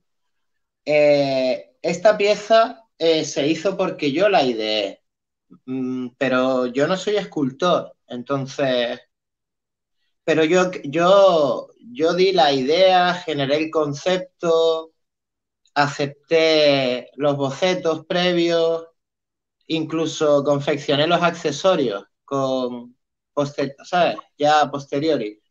Entonces, está claro que la pieza no, no la he hecho yo al final. Pero en este caso ni siquiera el proceso, ni siquiera hablamos de un proceso de producción en el que tú terminas el trabajo, porque si bien aquí yo solo he añadido un accesorio en la parte final, que es el colgante de tela, ¿no? Tú cuando recibes lo que sería ya la impresión o, o la manufactura, esa manufactura vino de un diseño previo tuyo y está concebida para ser recibida e intervenida en la mayoría de situaciones, ¿no? Sí, mira, ahí te va yo como veo un poquito las cosas. Eh, Entonces, perdona, perdona que te interrumpa para el que no lo haya entendido, yo sé que tú sí, pero la idea es, cuando hasta tú has concebido ese diseño previo, yo no, em, es mi idea personal, para mí no resta ningún valor que te apoye eh, es igual que como, como he comentado, ¿no? Cada uno es muy libre, como Antonio Hombrevala, él hace el proceso completo y añade un packaging impresionante con blister y de todo. Y él de principio a fin el proceso lo hace, ¿no? Tú, sin embargo, eh, tu parte de, packaging, como hablaste, es de determinada manera, ¿no? Como hablamos en el programa anterior. En cualquier caso, sea cual fuere el packaging final, ¿no? La elección a mí me resulta igual de válida. Mira, el caso del equipo de Bomberman, ¿no? Con Atsaicon y con Emmanuel Pellegrino. El encargado de hacer el blister al final es Emmanuel Pellegrino. El encargado del diseño en 3D es Atsaicon, pero quien concibe el proyecto suelen ser los tres a la vez, juntos, ¿no? Sí. Entonces, perdona, continúa ahora ya, sí, Fran, por favor. Yo, o sea, más bien, es que es, eh, es, es, como, por ejemplo, eh, está Toman, ¿no? O Kosik. Ellos solamente ya se encargan de diseñar y por atrás ya hay un equipo encargado de modelar, de, de, producir, de esculpir y, está padre, ¿no? O sea, como que todo eso, eh, yo, o sea, yo lo veo más como los procesos que pasaron con He-Man, por un decir, ¿no? Ajá estaba una industria, estaba, eh, vamos a ser un personaje de tal manera, o sea, esta es mi idea, queremos hacer esto. Entonces ya hay un equipo atrás que se encarga de desarrollar todo, ¿no? Cuando trabajas como crew, decís, este es nuestro crew, somos tres personas, se lo hacemos, dices, va, ¿no? Cada quien en su trinchera hace lo mejor que puede hacer. Pero cuando yo siento, o sea, yo en lo personal, cuando yo veo que a lo mejor tu proceso de, fabricación ya es eh, un 10% de intervención tuya hacia, este, hacia tu juguete, ya creo que empieza a ver como un tema, ¿no? Digo, eh, eh, en lo personal, yo he visto que hay piezas mías que, que, he hecho con otros artistas que me han modelado y como que dicen, ah, sí está padre, ¿no? Pero el primitivo les gusta más porque, no sé, como que sienten que es la esencia mía, ¿no? O sea, es, como mi, percepción. Actualmente el Mitla eh, tiene una buena recepción. Yo la, yo la diseñé, hice el boceto, se lo paso a Jack, Jack modela y se va directamente a la fábrica china, ¿no? Inciso, vamos a, cerrar ya el Instagram de Chucho y ya que lo estás nombrando, nos metemos con... Con Jack. Sí, nos metemos directamente ya con, el Instagram de, de, Jack y así continúa, continúa Fran, por favor. Sí, entonces, a lo mejor no es que se desvalore no se desvalore. Yo al final de, mi, de todo mi proceso, la pintura yo la hago, ¿no? La intervención del juguete yo lo termino haciendo. Entonces, este, siento que al final trato de dar como sumar todavía más con con ese aspecto. Por ejemplo, yo actualmente, eh, mi escultor de cabecera, por así decirlo, Jack, ¿no? Ahí tiene del de, Oni Zombie la escultura que hizo, ahorita la vemos, pero eh, eh, yo la verdad cuando vi su trabajo la primera vez me impresionó mucho, ¿no? Como ver todo este acabado, todas las texturas que él generaba, ¿no? Ese es el Oni Zombie, esa fue la pieza que hicimos en colaboración. Este, yo básicamente le di el boceto y le dije, tienes libertad de hacer, de deshacer, entonces casi no hubo, eh, con esta pieza no hubo, cambios, ¿no? Yo creo que, entendió como el trabajo que quería y, este, y se logró como, o sea, siento que, fue como una buena fusión entre, entre la idea que yo tenía y su, y su estilo de trabajo, ¿no? Yo creo que hace como figuras de, miniatura, no estoy tan seguro, ¿no? O sea, pero mucho pareciera como estas eh, de juegos de tablero, ¿no? De, de este tipo de esculturas. Y en lo personal, para mí, siempre, siempre como que admiro mucho, ¿no? Esa parte de su trabajo. Creo que la parte compleja de trabajar, por ejemplo, con escultores 3D, ya la, la parte de fabricación del juguete, ¿no? Porque ellos generan la escultura y está impresionante, ¿no? Pero ya cuando vas a plasmar esta escultura en 3D, en impresión, y no, y no te pones a pensar la parte del, del, diseño industrial de, ya sabes, de se va a parar o se va a caer o el peso lo, va a hacer que se vaya para enfrente, ya sabes. Entonces, es un tema que, que, que, por ejemplo, al final, en la parte de producción en China, pues ellos revisan y me, me aconsejan qué hacer y qué no hacer en las piezas, ¿no? Claro, sucede, por ejemplo, mira, ahora al hilo de lo que acabas de tocar, ¿no? hay una pieza preciosa de, Antonio Ponzón, perdón, de Antonio Hombrevala, que lo comentó en su programa. A mí me encanta, es una de sus primeras piezas, es el Neptuno. Y esa pieza él no, no la tiene en realidad para, para venta ahora mismo porque precisamente por lo que tú comentas, por un problema de peso excesivo en una zona determinada, pues para él no está con la calidad óptima, la tiene que rediseñar en algún momento para, para que la pieza no se le doble en las piernas. Por, eh, tiene unas piernas un poco estrechas, entiendo yo, y un peso quizá no parecía excesivo, pero bueno, acaba doblándola, ¿no? Por la razón que sea.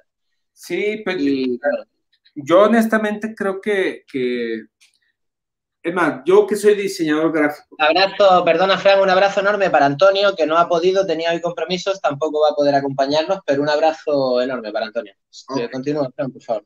Entonces, o sea, yo lo personal, por ejemplo, yo que soy publicista y que soy diseñador y que de repente tengo que hacer trabajo de, packing, ¿no? De, de, empaques, ¿no? De, eh, y de repente te das cuenta que cuando dices, ah, voy, es muy diferente el vestir, el empaque, a diseñar un empaque funcional, ¿no? Entonces con el juguete yo creo que es lo mismo, ¿no? O sea, tú ves la escultura, está súper preciosa, pero a lo mejor te pones a pensar, oye, si los pies van a aguantar, van a soportar todo el peso, ¿no? A lo mejor por el bat se va a ir para adelante, se va a caer. O sea, son cuestiones técnicas que a lo mejor él, él como escultor las sabrá o no las sabrá, pero más bien Después del proceso de, escultura, sí tiene que haber un ingeniero industrial donde se va a encargar de decir, sabes que esto se puede, esto no se puede. Pero hablando en general del trabajo de Jack, creo que, que, cuando yo lo vi, no sé cómo estuvo, cómo lo conocí, si él le dio like a una de mis fotos eh, o fue en un en vivo, el chiste de que, creo que con el en vivo con, con Javier Jiménez, por ahí vi a alguien que le dio like a algo, me metí a su página, lo stalkeé, ¿no? Y empecé a ver su trabajo. Entonces yo decía, oye, yo quiero una pieza con una textura muy similar a lo que había hecho ya con el primitivo, pero bien hecha, ¿no?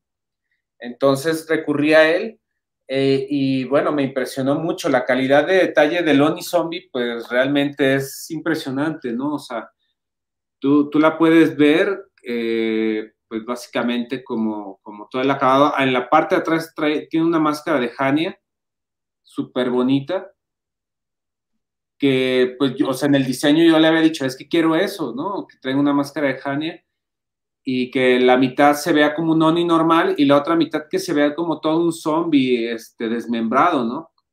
Brutal. Captar como toda la idea y esta es una de las piezas que le tengo demasiado aprecio, ¿no? Me gusta demasiado como la escultura.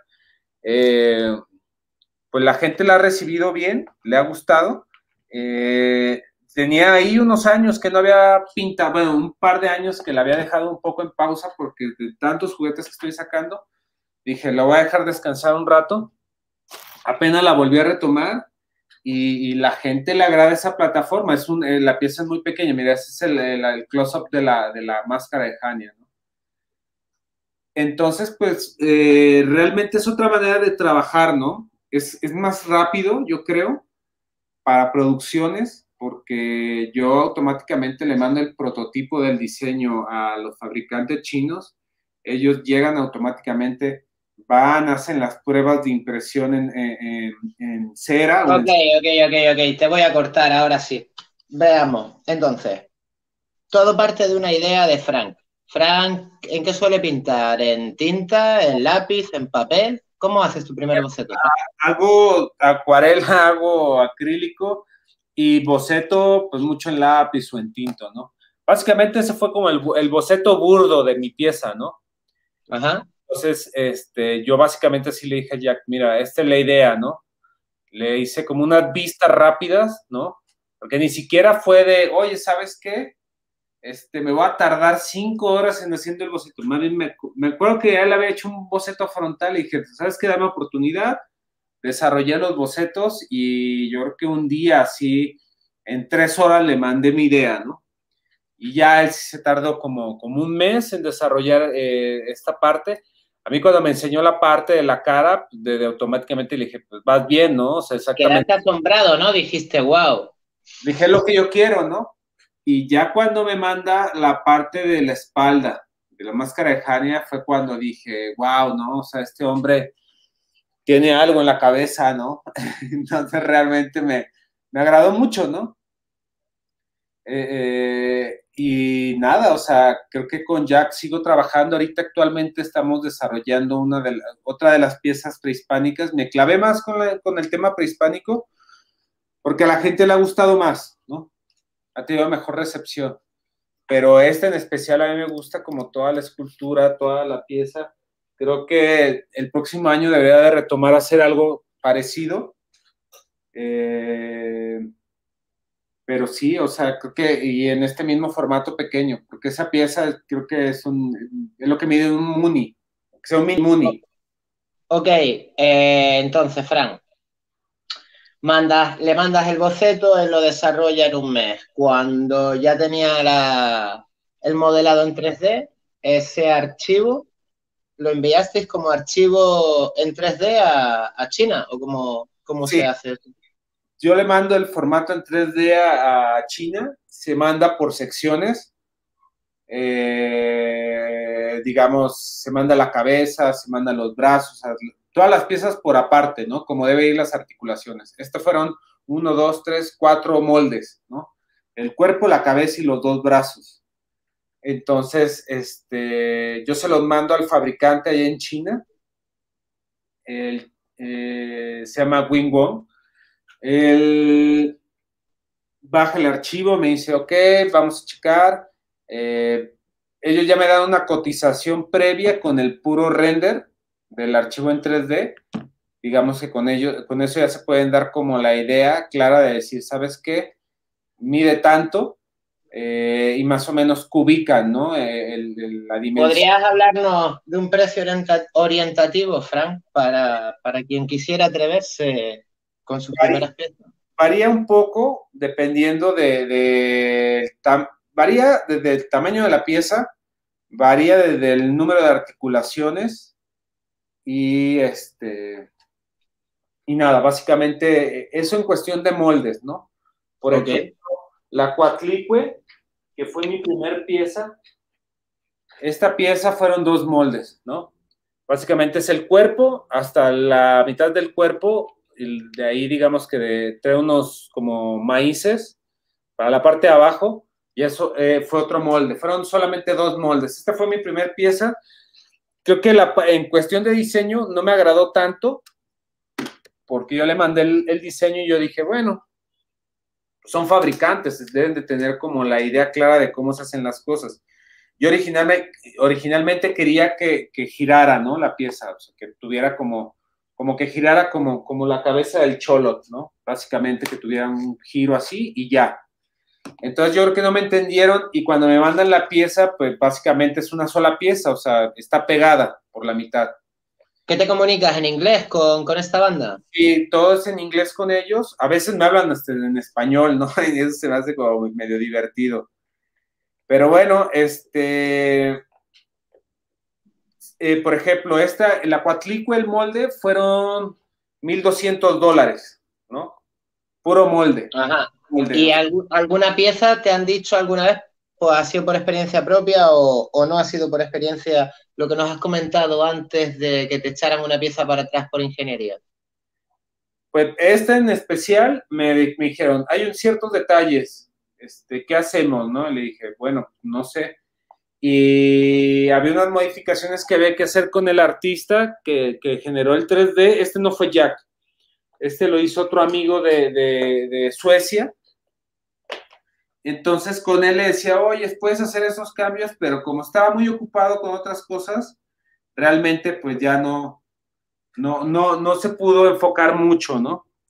El problema que ha tenido esa pieza es que luego, eh, como que con el calor, a la hora de que viaja, las piernas se, se meten, ¿no?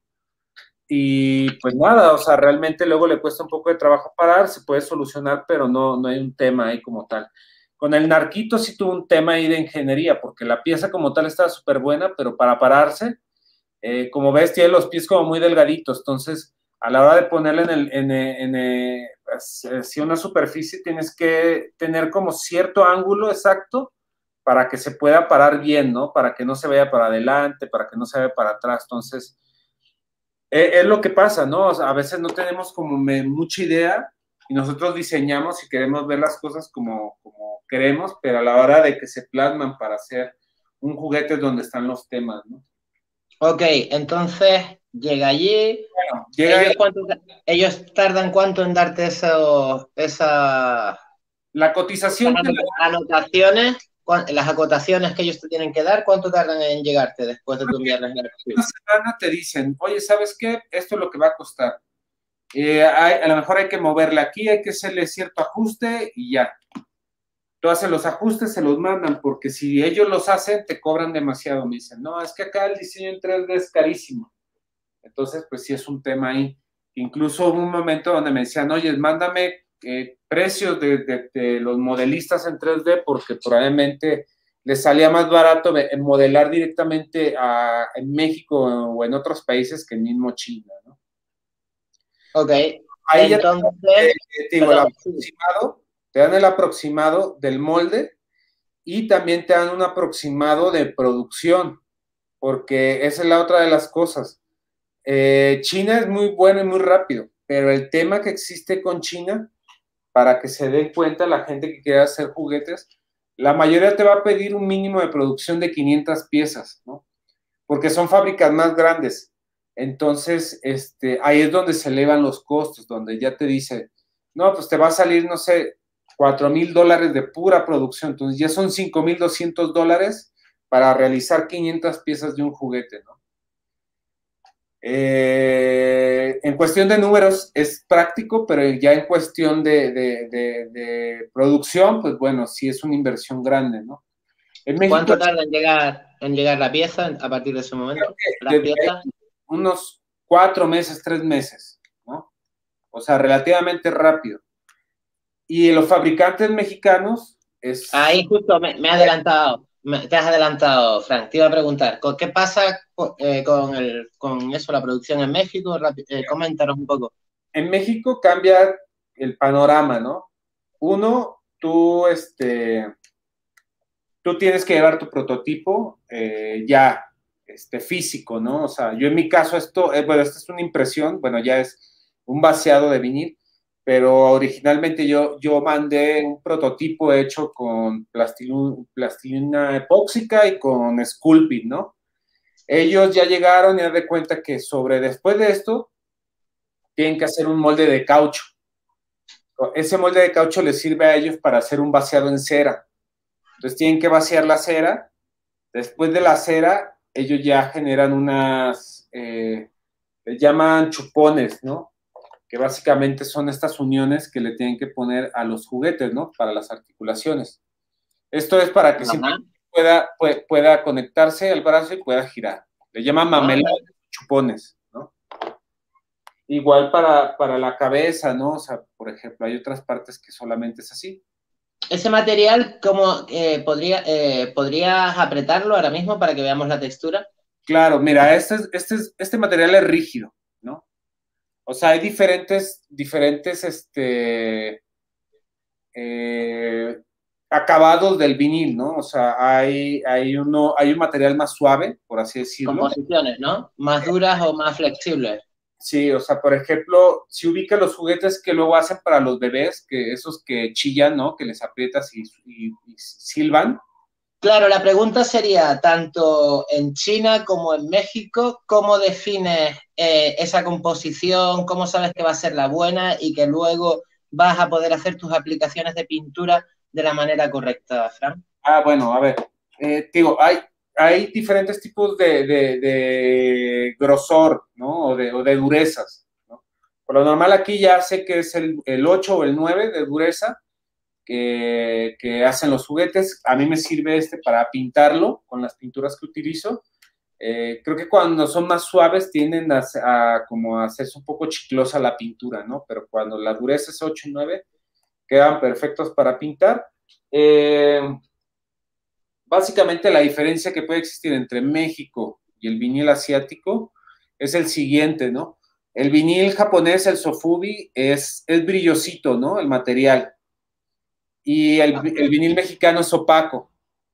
Entonces, básicamente eh, la característica que tiene el sofubi es. O sea, este, este tipo de vinil transparente solamente lo hacen en Japón y en México ah. carece de algunas características. Bueno, más bien, el, no, yo creo que no nomás es en México, ¿no? Sino en la mayoría de los países carecen en, materiales para producción porque, por ejemplo, colores fotoluminiscentes no hay, o sea, sí hay, pero no brillan como el, japonés, ¿no? El acabado es, digo, es, es como un poco más rústico. Luego, eh, pues los fabricantes también en México no son como o sea, no es decir que sean malos, ¿no? Pero obviamente a lo mejor no tienen unos estándares de producción más elevados que los chinos. Entonces luego lo dejan con detallitos que le llaman rebabas, ¿no? Que es como los sobrantes.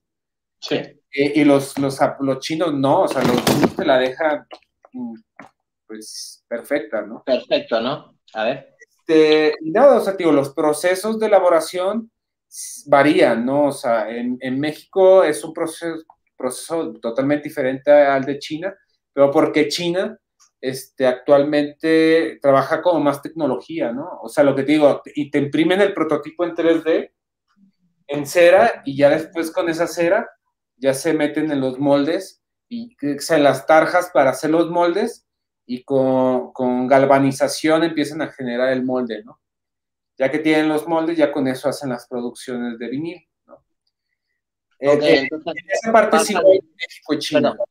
Perdón, sí. Eh, nada, te iba a decir, nada, entonces llega el, llega el material de China, tienes que revisarlo, entiendo, y haces unas primeras pruebas antes de quedarte con el material. Pues básicamente yo llego, reviso un par y ya este, empiezo a pintarlas, ¿no? Porque la verdad es que sí, es muy raro que venga algún error, ¿no? Con el Miclan hubo un detalle que pues, lo tuvieron que, arreglar ellos, pero, uh, pero vaya, no me había dado cuenta hasta después, ¿no? O sea, y esa pieza, pues en lo personal a mí me agradó mucho, pero sí llega a haber detalles, ¿no? Hablas con el fabricante y pues, pues es lógico, ¿no? O sea, si mandas a hacer 500, eh, creo que difícilmente van a quedar perfectas las 500 y aparte el costo de producción, pues ya a volumen, pues sí es atractivo, ¿no? a comparación de, pocas piezas. Y la parte de China. En, la producción en México cambia un poquito, ¿no? El esquema. Incluso, eh, digamos que sería, si es económicamente un 70% más. Ah, mira, esa escultura que me hizo eh, eh, Chucho Rojas, ¿no? era para el, el que te decía que quiero, que yo creo que el próximo año lo va a sacar, es como un Godzilla con máscara de luchador. Y este, ya tengo la serie, ya nomás es para mandarle al fabricante que la trabaje, pero ahorita primero quiero sacar otras piezas antes de eso. Pero bueno, entonces te decía, en México la producción es diferente. Yo hago la escultura, se le manda al fabricante, el fabricante lo ve con un eh, modelista que hace vaciados en, eh, hace, hace más bien moldes de silicón, ¿no? Entonces lo que hace él es con cada pieza del prototipo, eh, genera un molde de, silicón, eso para que después hagan un vaciado en cera. Y esas, con esas ceras, haz de cuenta que ya después el fabricante las limpia y ya eh, eh, venden estos como chupones o mamelones eh, ya hechos, entonces él ya nomás los incrusta a las ceras, a las piezas, para que con eso ya las pueda meter a la, a, ¿cómo se llama? A la fábrica, o sea, a la, la charolas de galvanización. En esas charolas, al meterlas, haz de cuenta que con electrólisis se empieza a generar el molde. Lo tienen que dejar semanas, ¿no? unas tres semanas o un mes para que el molde se haya engrosado bien y ya, puedan, ya se pueda utilizar para hacer vaciado. Este, y ya después de eso ya empiezan a generar la producción. La diferencia entre México y, China es que en China sí tienes que invertir más dinero, pero el trabajo es una calidad diferente. Y en México la, eh, la calidad es más baja, pero tu inversión es más pequeña, ¿no? actualmente luego me, me escribe gente, ¿no? Me dice, oye, este, pues me interesa hacer cosas en México. Y yo a veces sí los quiero apoyar, pero, ¿sabes? Ya, ya trabajé un tiempo como intermediario con varios artistas de Estados Unidos. Y cuando llegan a salir algunos problemas, sí es bien complejo, ¿no? Porque al, que, al ser la cara, pues te generas un conflicto, te puedes generar un problema ahí de gratis, ¿no? Entonces yo prefiero, ahorita luego me preguntan, le digo, no, ¿sabes qué? Prefiero ya no, porque si, si te hago la pieza en México y no te termina de gustar, pues te vas a quedar conmigo y me va a salir peor, ¿no? Voy a perder dinero, entonces prefiero mejor hacer mis piezas y, no meterme como en conflictos, ¿no?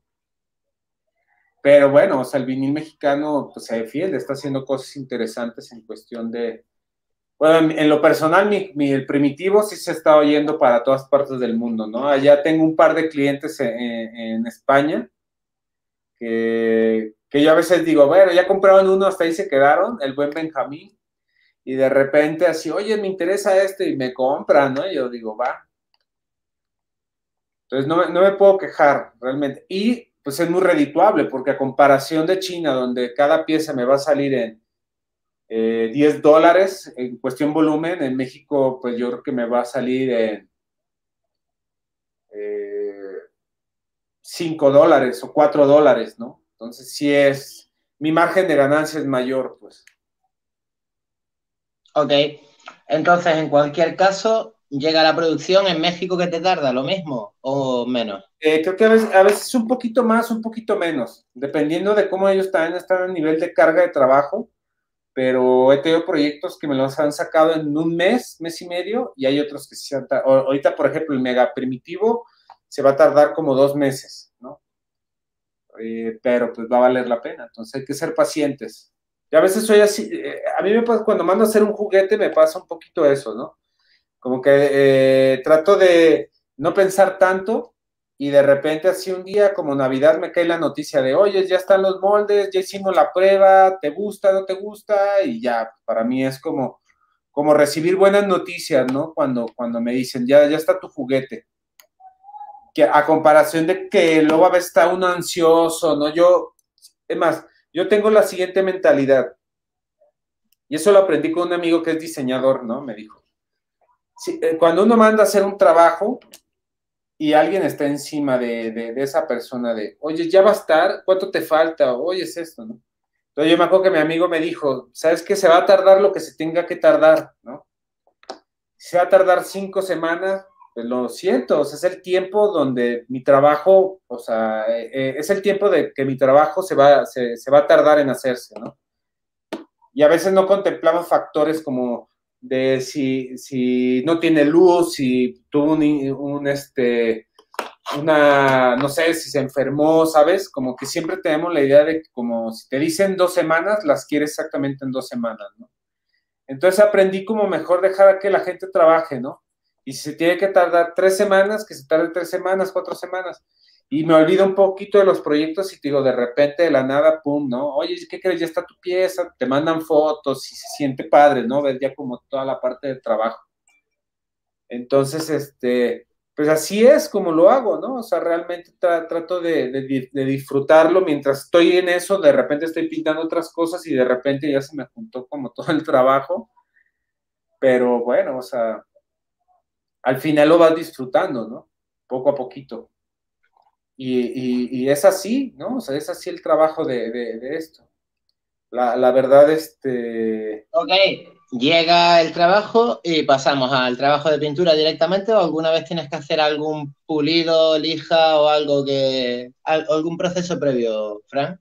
No, cuando es vinil no hay solamente es como limpiar bien las piezas y ya este cuando esa, esa aplicación en aerógrafo pues trato de que estén sin grasa, ¿no? Las piezas para que la hora de que pinte no se, no, no, no se llegue a correr algo de la pintura o se vaya a botar algo de la pintura, porque llega a pasar mucho que con la misma grasa de las manos este, se, se, se ensucia un poquito las piezas y se quedan ahí como medio, medio mal, ¿no? el trabajo de pintura. Pero realmente no hago nada, no, no, no es como la resina que tienes que llegar, que las tienes que pulir, ¿sabes? Es así como tal cual te llegan, nomás es darle una, una pequeña limpiada y ya empiezo a pintar, ¿no? Y te la pintura que utilizo, pues realmente son esmaltes, ¿no? Y lacas. Trato de, siempre pintar cosas diferentes, ¿no? O sea, no, me gusta que sea todo como seriado.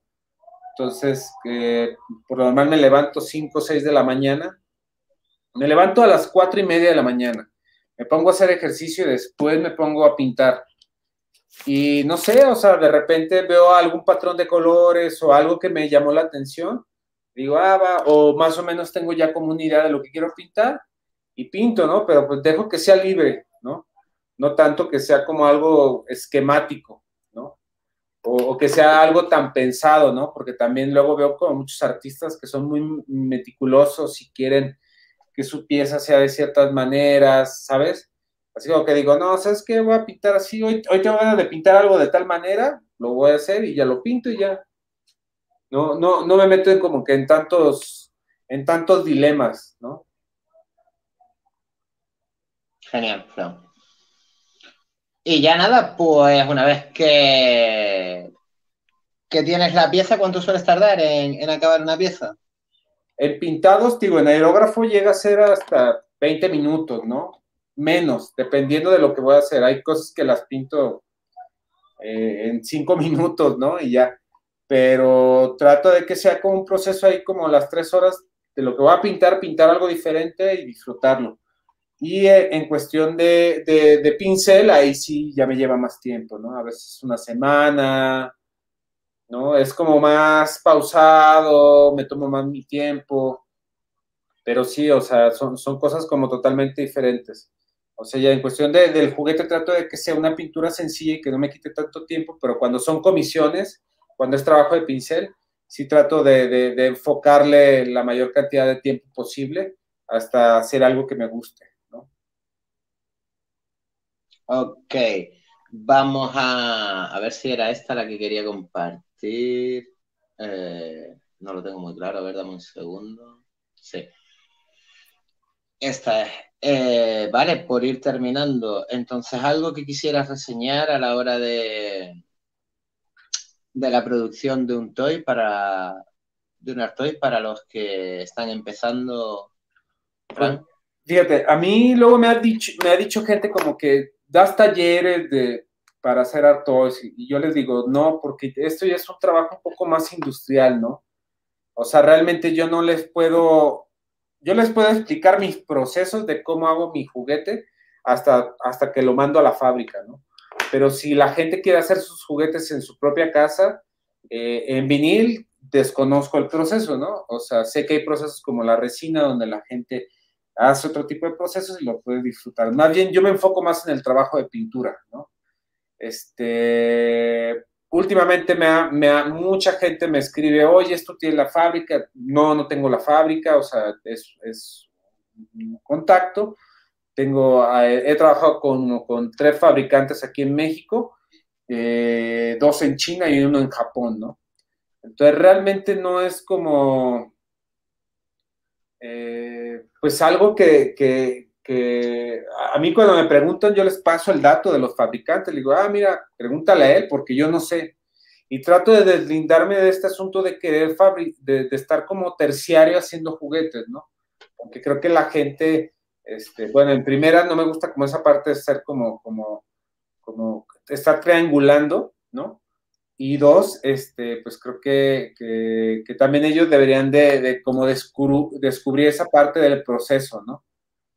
Entonces, luego como que ven, a, mí ven las, mis producciones y como que piensan que es algo sencillo, ¿no? Pero yo creo que más que decir que sea algo sencillo, es un tema de que si quieres hacer un juguete en China, pues es un tema de economía, ¿no? De que tengas que tener cierta cantidad de dinero para invertir, ¿no? Y eso no te asegura de que si puedes o no puedes, este, de que tu juguete va a trascender o va a tener buena proyección. Entonces, eh, a mí cuando me preguntan, hasta yo incluso les digo, pues es que yo no te puedo predecir si tu juguete va a ser una buena plataforma que se va a vender, ¿no? O sea, eso solamente tú lo vas a ver. Te vas a invertir el dinero, adelante, ¿no? Entonces, este, yo honestamente lo que hago es, hago mis loqueras, ¿no? Eh, tengo mi taller, mi estudio y hay piezas que no se venden, hay piezas que se venden más, hay piezas que después de cierto tiempo se venden, ¿no? Entonces, todo eso, la verdad, no es algo que yo lo pueda predecir, ¿no? O sea, simplemente digo, yo hago lo que a mí me gusta y punto, y si eso te llena adelante. Pero si lo vas a ver con ojos de, esto es un negocio donde si invierto 10, quiero 30, probablemente va a ser complicado y te, vas, y te vas a desesperar porque vas a decir, no, ¿y cuándo va a llegar el dinero? Y ya lo quiero ver. Y he visto a mucha gente que ha invertido en proyectos interesantes aquí en México y hasta la fecha no han despegado, ¿no? O sea, les ha costado mucho trabajo despegar y ya tienen varios años, ¿no? Entonces sí es, sí es, sí es algo complejo, ¿no? Tienes, te deja hoy un banner de nuestro compañero de, de Ricardo Lezán, está dándote las gracias por, tu conocimiento, tu experiencia y te dice, nada, espera saludarte en plástico macizo. ahí vamos a estar. Y bueno, eh, me, me, quedaban un par de cosillas. Eh, bueno, una pregunta para el artista de tu talla. ¿Alguna vez han hablado del debate entre obra artística y mercancía? Es decir, poner precio a nuestras producciones es enajenarlas, aunque creo que el arte hoy no es mera mercancía, es un producto artístico que rompe esquemas y conlleva explorar a fondo con uno mismo. Bueno, es lo que más o menos hemos hablado, ¿no? Bueno, yo en general no me gusta como abusar un poco de los precios, ¿sabes? Eh, hace poco eh, el ONI, eh, esta pieza, yo siempre la suelo vender como entre 70 dólares, 65 dólares. El otro día me compartieron una página de Hong Kong y estaban en 375 dólares, ¿no? dije, bueno, me estoy cotizando, no sé qué está pasando, pero bueno, si alguien la compra, pues ya es su tema, ¿no? Pero yo a veces he tenido como un, debate ahí más bien con el asunto de la reventa, ¿no? Porque ni siquiera es el artista tanto el que pone esos precios, ¿no? O sea, eh, son los precios de release que hay en las páginas de internet. El otro día platicé con unos amigos, estamos discutiendo un poquito sobre eso.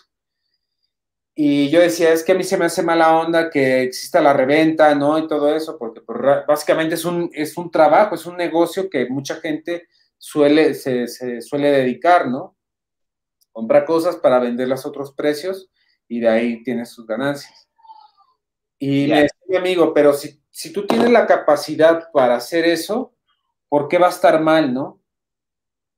Y yo le decía, eh, dependiendo yo que del esquema o, del enfoque que le demos, está bien, pero si eres una persona que vas a una convención a comprar juguetes de, exclusivos para después venderlos a un mayor precio, pues obviamente tienes que ganar algo, ¿no? tienes que ganar eh, tu trabajo de ir a, la exposición, ¿no? El viaje, toda la inversión que hiciste, y es súper válido. Pero bueno, quiero imaginar que en España pasa algo parecido si eres fan del fútbol o, de algún deporte en especial donde exista como e, estas aglomeraciones masivas, ¿no? Sí, con las entradas y con cualquier cosa. Pero, por ejemplo, yo en lo personal sí estoy como muy en contra en esa parte de las entradas, ¿no? Que, que, que pues si uno llega y que todo fuera como decir, bueno, voy el día del evento a comprar mi boleto y, entro, ¿no? Pero cuando ves que ya hay una venta sold out de, de todas las entradas para ver una final, pues es como medio frustrante, ¿no? Porque dices, pues debería ser un poco como legal de decir, eh, el 50% de las entradas se va a vender en taquillas y solamente, eh, pues no sé. se, suele, guardar un porcentaje, aunque creo que es menor, no sé si es de un 10, de un 30, la verdad es que no sé exactamente, Frank, pero sí, así es. Un registro para que la gente pueda irlo a comprar cuando pueda, ¿no? Pero cuando va y ya existe. Pero bueno, en cualquier caso, la manera de solucionarlo es el trato directo contigo, que para eso Ah, claro, claro, claro. Tienes tus propios, vamos, tus propios espacios, ¿no? Creo yo. Sí, yo, por ejemplo, ahora que fue, fue la gente a, la expo el día de ayer. Vamos a compartir entonces un poco de. Sí, sí, sí.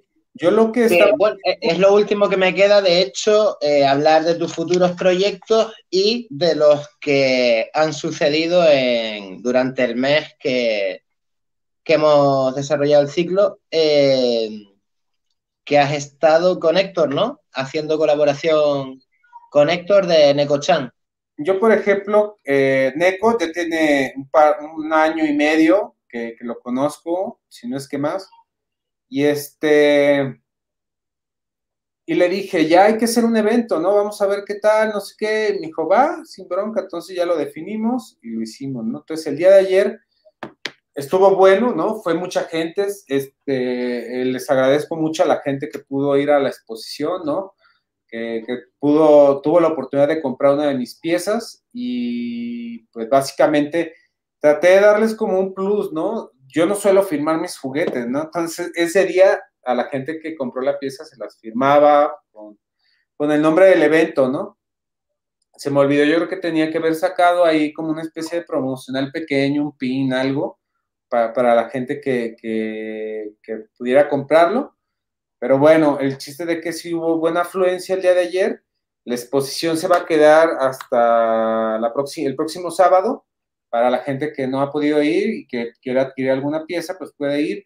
Eh, yo creo que Neco va a estar subiendo fotos por internet para aquellos que quieran adquirir la pieza eh, en línea, por si quieren y pues nada, ¿no? O sea, hice como esta, esta parte de dividirla la exposición, ¿no? Una como zona de puros colores neón y la otra con colores más metalizados, colores más, más este, neutrales, por así decirlo. Y este, y nada, la, exposición eh, estuvo súper buena. Eh, aparte de este proyecto, probablemente ya hay una expo para el próximo año con Clutter Gallery, que va a ser como una exposición de, en colectivo con artistas de Sofubi. Eh, básicamente va a mandar como alrededor de 15 o 16 piezas para, para Estados Unidos. La van a repartir con los artistas, pues amigos míos, ¿no? De, del ámbito del Sofubi, ¿no? O sea, probablemente va a estar este, Marnagata, eh, Rampastoy, eh, Paul por mencionar algunos, ¿no? Eh, probablemente aquí de México, eh, pues voy a decirle a Chaukowski, a Roten, ¿no? Y obviamente a mí para, para estar como presentes. Y, pues va a ser una exposición, digo, son 15, 16. Bueno, quiero ver si se puede mandar más, pero que sea una buena exposición del primitivo, ¿no? De esto porque en este mes cumplió cinco años, pues entonces por eso decidí hacerlo en formato grande y quisiera que, que, que tuviera una buena exposición, ¿no? Ya después veré si hago algo más pequeño para acá, para México. Pero de momento creo que ahí en Nueva York, en Clutter Gallery, siempre ha sido bien recibido el, buen monstruo primitivo. Eh, estoy trabajando también con, con, Jack, con una cuarta pieza de esta serie de, los, de la serie prehispánica. Es un Quetzalcoatl de ese, pues ahí seguimos trabajando porque es, una pieza que en lo personal eh, me gusta mucho, pero me está costando mucho trabajo cómo, cómo definirla, ¿no? Entonces, pues le dije, ¿sabes qué, amigo? No importa si hay cambios, te doy más dinero, pero quiero que quede bien, ¿no? O sea, no quiero, no quiero hacer una pieza que no me vaya a agradar, ¿no? Entonces, este, por ese lado, creo que, sería como, como, bueno, el Quetzalcoatl probablemente va a ser un lanzamiento que sea para el próximo año. Ya el último lanzamiento que hago en este año va a ser el Mega Primitivo, y de ahí yo creo que me voy a estar enfocado a pintar. Eh, por ahí la gente de Store Value también me invitaron para la New York Comic Con, eh, un pequeño pabellón donde va a haber como alrededor de 15 piezas mías, ¿no? Este, eh, ahora sí que con todo mi trabajo de calavera. Y pues nada, o sea, e, es, es, lo último aquí antes de cerrar el año, está plástico macizo en 15 días. Y pues nada, este, un abrazo enorme para, para Oscar, vinilo Chile. Sí, no estoy tan seguro si hacer otra cosa para finales de Yo seguramente me bueno, tanto voy a pedirle permiso a Oscar para establecer conexión en directo con, con el evento, como si me da permiso voy a llevar mis propios cámaras hasta México para que más allá del evento yo pueda centrarme en determinados espacios de determinados artistas.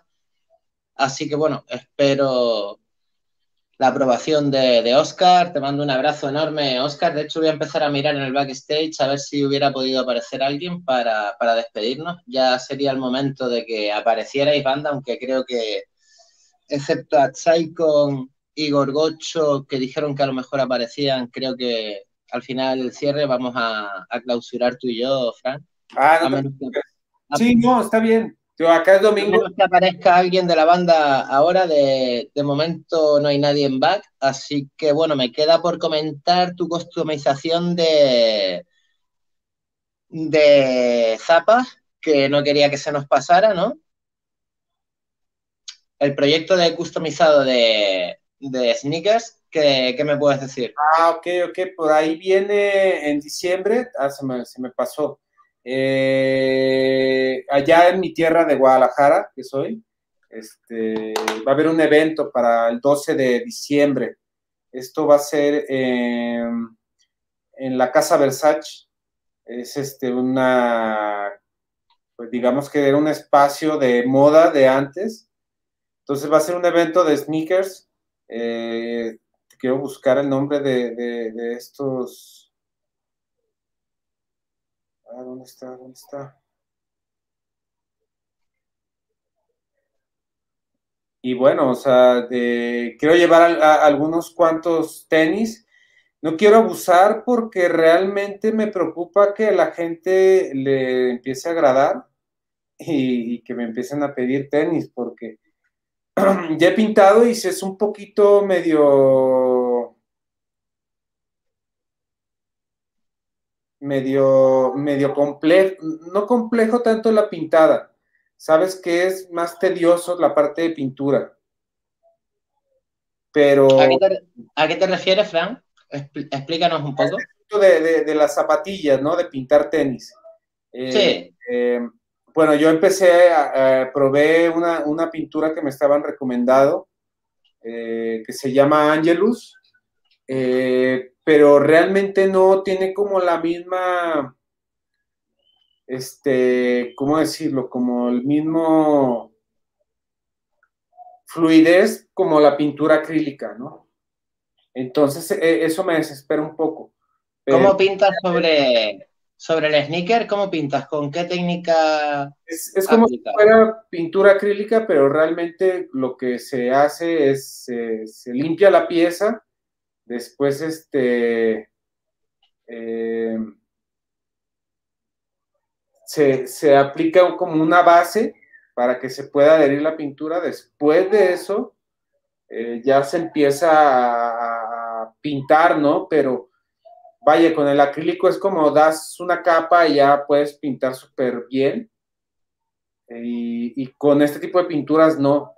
Este, este tipo de pinturas cuesta como más trabajo y la verdad me desespera un montón. pero bueno, vamos a hacer el intento, vamos a llevar a unas cuantas piezas y, vamos a ver qué, sale. Más que nada... Van unidas las piezas, el sneaker va acompañado de, alguna creación, como en este caso que parece... Bueno, no, estas, estas no parece que fueran pareja, pero te pregunto. No, no, o sea, voy a llevar juguetes. No, no, habría, no habría esa opción, Fran, de que llevaras algunas piezas y las hicieras un diseño basado en una pieza para que se pudiera llevar en conjunto? ¿No te gustaría esa idea? si alguien te lo pidiera. Obvio si alguien me lo pidiera, pero realmente llevar algo así para, o sea, yo lo que estaba viendo también en este asunto, en el tema de los sneakers, mira, eh, eh, eh, ahí estaba, era Nix Therapy. Si puedes igual buscar ahí su, ah, pues ahí está taqueado para que veas sus redes sociales. Este, la cultura del sneaker y el arte van un poco de la mano, pero yo siento que en México aún le falta un poco, ¿no? O sea, como de, ese conocimiento. Yo lo que me di cuenta en esta exposición que fui es que la mayoría de la gente solamente conoce a Caos, conoce los Bebricks y ya. Entonces, decidí, estoy pintando unos Bebricks para ese evento, voy a llevar unos Caos para ese evento, porque ya sé que lo que se va a vender, ¿no? y algunos tenis para que la gente vea el trabajo de pincel y si le agrada, y ahora sí decirle, ¿sabes qué? Sí, te puedo pintar unos, te costaría tanto y me tardaría tanto, porque esa es la otra, ¿no? Eh, si les trato de cobrar como un Artois, probablemente se saquen de, o sea, no les parezca, ¿no? O sea, se van a decir, oye, no, está muy caro. Y si trato de cobrarles como suelen cobrar los tabuladores que hacen sneakers, que pintan, pues probablemente me tengo que reducir, pero es más trabajo y es lo que no quiero, ¿no? Que luego yo he visto como custom en tenis y la verdad es que no me, no me agradan demasiado. Entonces, este, pues yo lo que quiero hacer es que sí sea un trabajo como padre y no y, de pintura de pincel y que vean que hay una trayectoria y que estoy haciendo esto y que lo que están llevando pues, es algo algo único. Ese fue el del evento de Guadalajara donde estuve, ¿no? Entonces, este, hubo poca gente que llevaba algo de Artois, pero, pero vaya, o sea, también hay un tema medio complejo, ¿no? O sea, la gente le agrada los Artois, pero van a comprar tenis, ¿no? Entonces tendría que pensar algo antes del evento para hacer un poco de promoción para que la gente por lo menos vaya con la idea de que lo que puedan comprar este, les pueda agradar, ¿no? Les pueda interesar. Yo creo, creo que la idea es esa, asociar un Artoy ya desarrollado por ti para, mm, yo llevaría tres, no sé si te puede aportar esta idea, yo llevaría tres piezas diferentes, en, ¿sabes? En, sobre todo, como hemos hablado, un concepto en plateado, un concepto en neón y a lo mejor uno en blanco y negro, de, que son, creo, tus tres exponentes o como yo te identifico más. Y esas tres piezas, pues ofrecer, realmente ofrecer el diseño en la talla del comprador, ¿no? Porque hablamos en el anterior programa que lo, otro problema era que el sneaker tiene que cuadrar la talla. Entonces, a lo mejor que lo hicieras in situ, no sé, como, como tú lo verías, Fran, y hacer in situ la pieza eh, sobre la plataforma que te dieran, pero para ir acompañado de su toy. Y así creo que sería una manera. No lo sé, Frank. Es, la manera más práctica, ¿no? O sea, como lo que ha hecho Quiz con Adidas, ¿no? Eh, realmente tendría que, valorar mucho o realmente hacer un juguete que vaya un poco acorde a esto, ¿no? Total. gente, o sea, pues por lo menos diga, ah, sí, es un tenis, ¿no? O es un Air for One, o es eh, tal, de tal marca, ¿no? O sea, que diga, va, me lo compro porque está curioso, ¿no? Y tiene como, como algo interesante, pero de ahí en fuera creo que es un tema un poquito medio, medio ajeno todavía porque, porque si ellos apenas están como medio metiéndose al mundo de arte, lo primero, sus primeras referencias son Caos y este, y Berbrix, pues también hay un tema ahí, ¿no? Se, les va a hacer como complicado querer este, adquirir otro tipo de plataformas que no sea esas. Yo así lo vi, ¿no? que todo el mundo me preguntaba por un Berbrix que ya había vendido y le dije, pues sí, ya se vendió, ¿no? Oye, es que no manches, es que no manches, me gustó mucho. Pero pues vuelvo a lo mismo, ¿no? O sea, ¿para qué traigo otras cosas que probablemente ni siquiera lo van a, van a voltear a ver, ¿no? Pero bueno, es cuestión de experimentar. Eh, es un nuevo campo, así me pasó con los juguetes y pues bueno, eh, si, no, si, uno no empieza a hacer escuela en otros ámbitos, pues no se va, no se va a dar a conocer. ¿no? Eso creo, esta pieza tuya genial, me encanta, Frank. Sí, ese, ese Astro Boy, le han echado el ojito a varias personas, pero todavía no se te, todavía nadie lo compra. Entonces, esperemos que, que pronto por ahí salga un buen comprador. A mí me gusta porque es un formato grande, pero yo creo que, te digo, e, es lo que pasa, a veces pinto las piezas. ayer vino, vinieron unos amigos y se llevaron un Megatech, ¿no? O sea, no, no, no, no tenía pensado en venderlo y me dijeron, no, sí, sí lo quiero, me interesa. Le dije, ah". Y ya llevaba ese Megatech como un par de meses ahí en la casa, pues dije, pues bueno, no me puedo quejar. Entonces, así es más o menos, o sea, las, no, no, no, todo lo que pinto al inicio se vende luego, luego, hay cosas que llevan su poquito tiempo, entonces eh, es, ser pacientes, ¿no? Mm, bien, en cuanto a, a lo que dijiste eh, de los tutoriales, eh, me parece acertado, aún así yo tenía que anunciar que, que bueno, que tenemos la idea de, de, vaya, aquí hay una persona en MacStage a todo esto. Voy a terminar de, llevar este, de dar este mensaje. Eh, la idea, bueno, más allá de tutoriales, no, es la idea hacer tutoriales, es más bien apoyar una vez al mes, vamos a darle un poco de continuidad al proyecto y vamos a intentar una vez al mes eh, hacer un programa de un formato entre dos, tres horas, en el que participen algunos miembros de, la crew. Y la idea es un poco interactuar con, con artistas novel, mm, más que hacer tutoriales específicos, sería interactuar con, artistas noveles, eh, presentar artistas que, en los que hayan puesto el ojo eh, parte de nuestra crew y, y sobre todo también presentar los nuevos proyectos, tener un punto extra de, difusión. Em, intentaremos eso, darle una continuidad, aunque sea mínima, de un programa al mes. ¿Qué más, eh, Frank? Eh, nos falta, te iba a decir eh, que ya metieras tu mensaje final y iba a poner tus redes sociales, pero creo que estando aquí con un compañero, pues mejor ya nos despedimos juntos, o bueno, si te tienes que despedir ya, pero... Sí, yo, ya, yo ya, porque si tengo... Compartáis aunque sea un momento el panel, eh, y además me está escribiendo creo que Gorgocho por ahí, que no es el que está en el panel, a ver. Que checando se me fue el tiempo y dije, hoy pasaron tres horas de plática. a ver qué dice el bueno de Gorgocho que me está diciendo, si aparece o no. Va, me parece que Gorgocho no va a poder aparecer. Vamos a darle paso para que compartáis y ya te despidas, Frank. Va. Eh, socio argentino residente en México, ¿estás ok? Ok. ¿Qué tal, Pony? ¿Qué tal, Frank? ¿Qué pasa? Un abrazo, tío.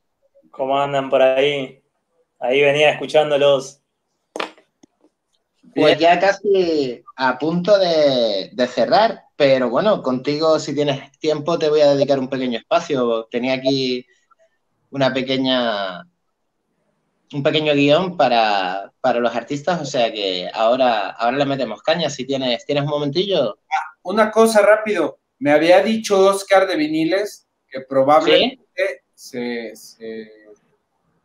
iba a conectar. Déjame le escribo a ver qué, qué nos dice, ¿no?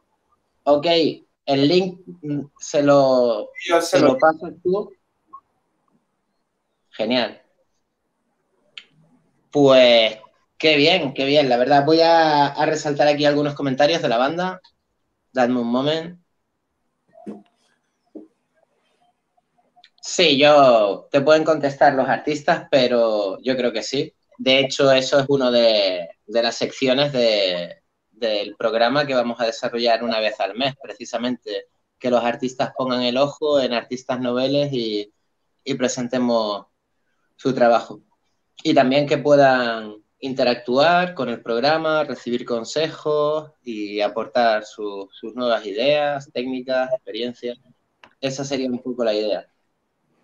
Mm, pero si quieres contestar tú, Camote o Fran, aquí. Y un saludo para Manuel Pellegrino, que, acaba de llegar aquí a saludarnos. Abrazo enorme de la crew de, de Bomberman y a Psycon. Eh, dale, Camote, si quieres contestarle aquí a Jerge Lozaya. Eh, yo por lo que digo con la pregunta, ¿no? De reconocimiento y conexión, o sea, eh, con lo que mencionás justamente de nuevos artistas, eh, sí me parece que es importante e interesante también, ¿no? como poder compartir escena y mismo ir impulsando a, a gente nueva para que sea partícipe en la escena, primero para ver también nuevos trabajos, ¿no? Eh, yo en mi caso, bueno, llevo un poquito más de tres años haciendo esto, quizás no tengo una, una trayectoria tan larga como es el caso de Frank o mismo otra gente, eh, no solamente por cuestiones mías, ¿no? que por ahí que sea mi trabajo, sino también eh, que pueda haber gente de otras disciplinas que le interese lo que es el art hoy y que pueden aportar miradas interesantes, ¿no? Entonces, a veces es bueno salir de lo ya conocido, eh, no solamente del trabajo propio, sino de las personas con las que uno se, relaciona, que puede meter un poco de ese aire nuevo y, ayudar a, a, generar nuevas cosas, mismo desde el propio trabajo, ¿no? Fran. Pues mira, yo siempre he estado de acuerdo que, los exponentes nuevos pues, tienen que ser también de presencia, ¿no? Eh, desafortunadamente todavía no llegamos a un grado donde haya eventos como más continuos, por así decirlo, donde, donde sería como más exponentes, ¿no? Eh, yo aquí en el DF empecé hace dos años a meterme como a bazares, ¿no? o áreas de arte. Y, siendo honestos, como que al principio la gente le llamaba la atención, pero después como que no captaban y, se les hacía caro. Eh, pero después me di cuenta que era buscar los foros correctos. Eh, he estado eh, desde exposiciones de juguetes tradicionales, o sea, ya yo, manto, y a la gente le gusta, ¿no? Pero al final, ya al generar la venta es como medio complicado y sí me di cuenta que tienes que especificar mucho, ¿no? Si, si vas a hacer un evento de arte, probablemente tratar de hacer todo lo posible para estar presente. Eh, creo que es el mejor canal para que la gente pueda generar difusión, pueda conocer a otros artistas y, que uno tenga como la oportunidad de trabajar, ¿no? Con, ellos. Yo por lo normal siempre cuando me dicen, oye, ¿no te interesaría participar en una exposición? O, oye, ¿te interesaría pintar una de mis piezas? trato, ¿no? De, pintarlas. A veces cuando tengo mucho trabajo, pues de plano sí les digo, me voy a tardar, si me aguantas, no hay problema, pero cuando no puedo, sí de plano les digo desde el inicio, pero cuando siempre hay disposición, siempre me hago un espacio y hago algo, ¿no? Y, es como parte para, como, difundir, ¿no? De decir, ah, mira, pinté la pieza de tal artista, entonces la, gente empieza a publicarlo, ¿no? Pero también está la otra parte donde los artistas nuevos tienen que ser buen tacto de presencia. Genial. ¿Algo que aportar a eso que ha dicho Fran? Camote, te he visto ahí, no sé si querías aportar algo. No, no, concuerdo con lo que dice Frank, sí, por supuesto, cada, artista por, su parte tiene que hacer su labor, ¿no? Eh, eh, la red de artistas dentro de la escena eh, es importante, pero no tampoco se puede pretender que sean otros que muevan el propio trabajo, ¿no? Hay que, de todas maneras, uno sentarse a hacer y si bien puedan existir esas colaboraciones, también eh, es uno, uno estar presente, como dicen, en eventos, mismo con, todo el trabajo que uno cree. Ok, Frank, ¿qué te digo? Eh, si tienes que dejarnos, te, libero, amigo. Da tu mensaje. Bueno, dos cosas para ir entrelazando con, Camote. Una pregunta común para los dos y luego aparte, mensaje, tu mensaje final si, y redes sociales. Bueno, las redes sociales creo que ya las he compartido. Eh, pero tu mensaje final y antes una pregunta. Eh, nada, eso, si te ha quedado, bueno, viene a ser lo mismo, si te ha quedado algo por decir de tu anterior programa, si, si quieres añadir algo como mensaje final, simplemente, Frank.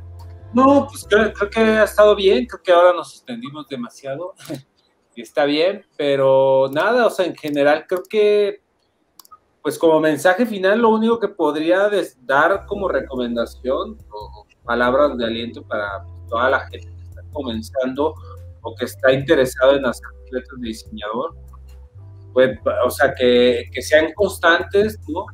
Que si es un camino largo, que realmente eh, vean también sus objetivos, ¿no? Que, que, también piensen como qué es lo que quieren hacer, si solamente quieren hacer esto por, por hobby o si realmente sí pretenden hacer algo más para, para adelante, ¿no? O sea, que, que, piensen como en todos los aspectos, ¿no? Y, bueno, o sea, creo que actualmente en México se está retomando muchas cosas, en particular en la parte del juguete, pero yo, yo al inicio quería que, eh, hacer ciertos bazares para que, la, para que la gente conociera el juguete y que fuera como más constante esta parte de presencia de los artistas.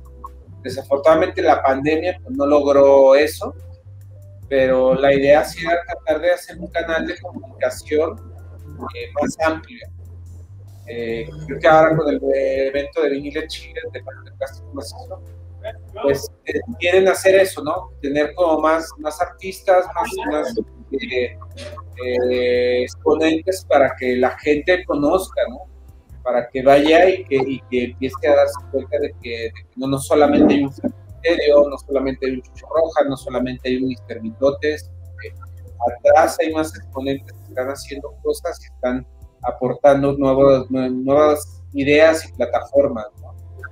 Entonces, este, pues nada, o sea, yo sé que el hablar de, producciones de repente para mucha gente es como de decir, uy, mucho dinero.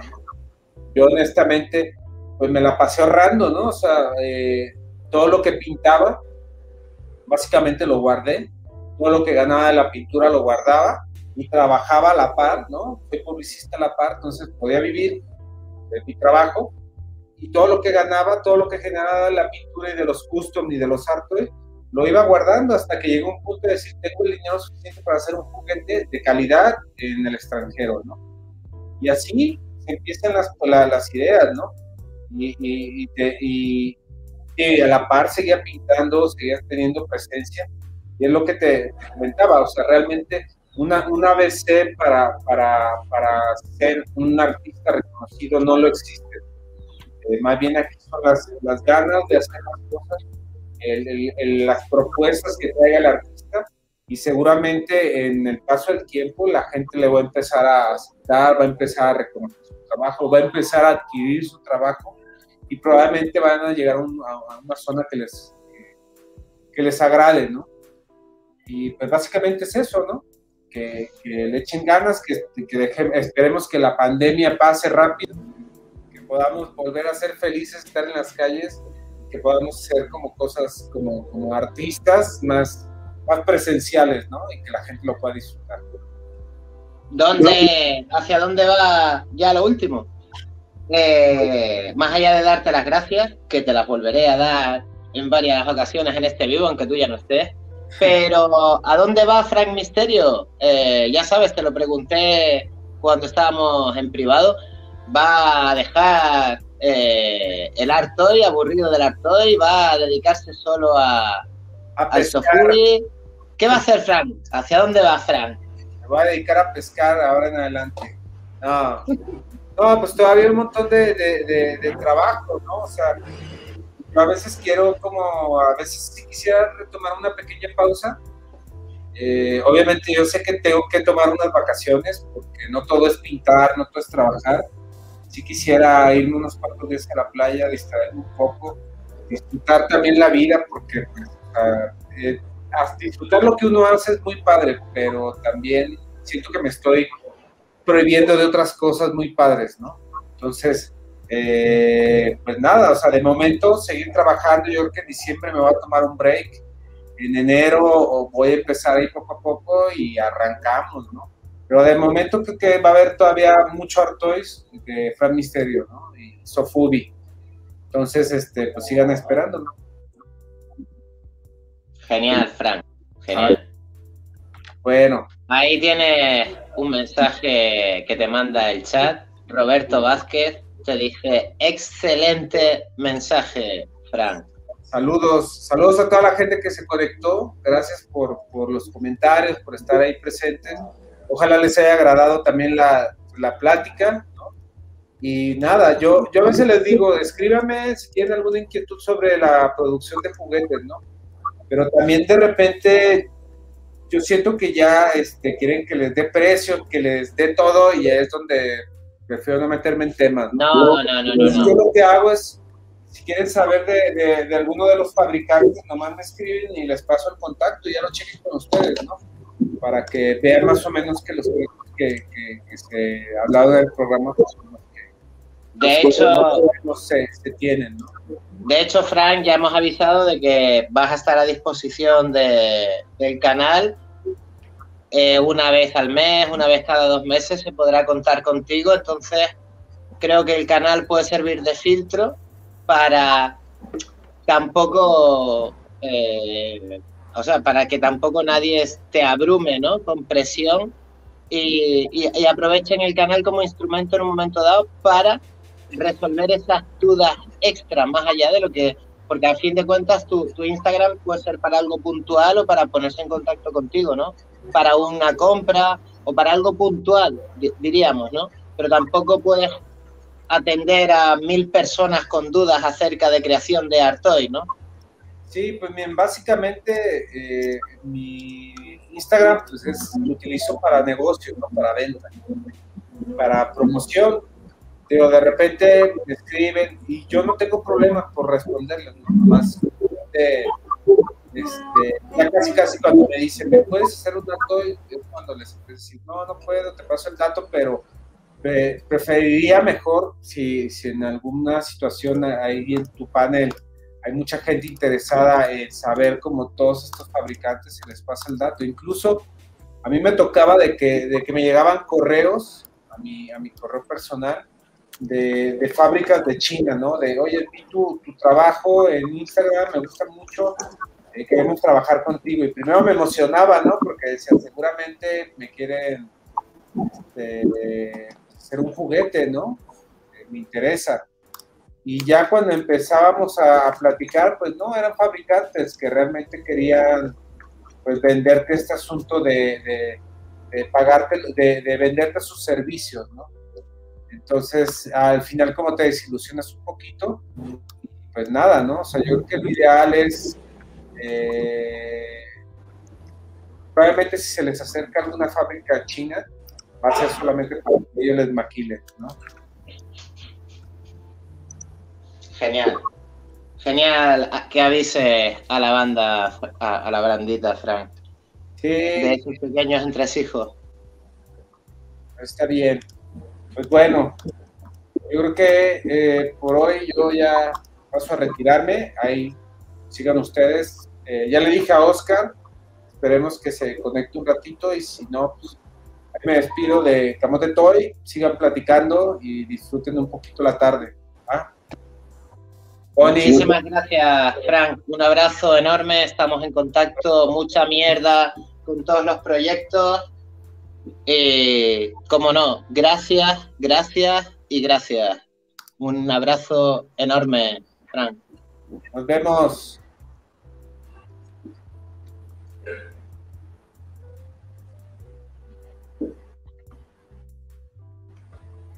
¿Qué pasa, señor Camote? ¿Me oye? ¿Me recibe? ¿Qué tal, Bonnie? Sí. Qué genial. Sí, sí. Nada, pues, ¿qué te digo? Eh, la parte que te toca. Mm, ¿Qué te ha parecido el ciclo después de ver tu, tu especial, tu programa, que me imagino que lo habrás visto y lo habrás compartido con gente. Eh, ¿Cuál es tu opinión así corta del ciclo y de tu propio, de tu propio programa? Creo que, creo que se, se te entrecorta un montón. No sé si soy yo. Voy a, voy a preguntar ahí al chat y intenta, creo que eres tú, intenta salir y volver a entrar, a ver si mejora tu conexión. Porque te tengo, te tengo totalmente congelado.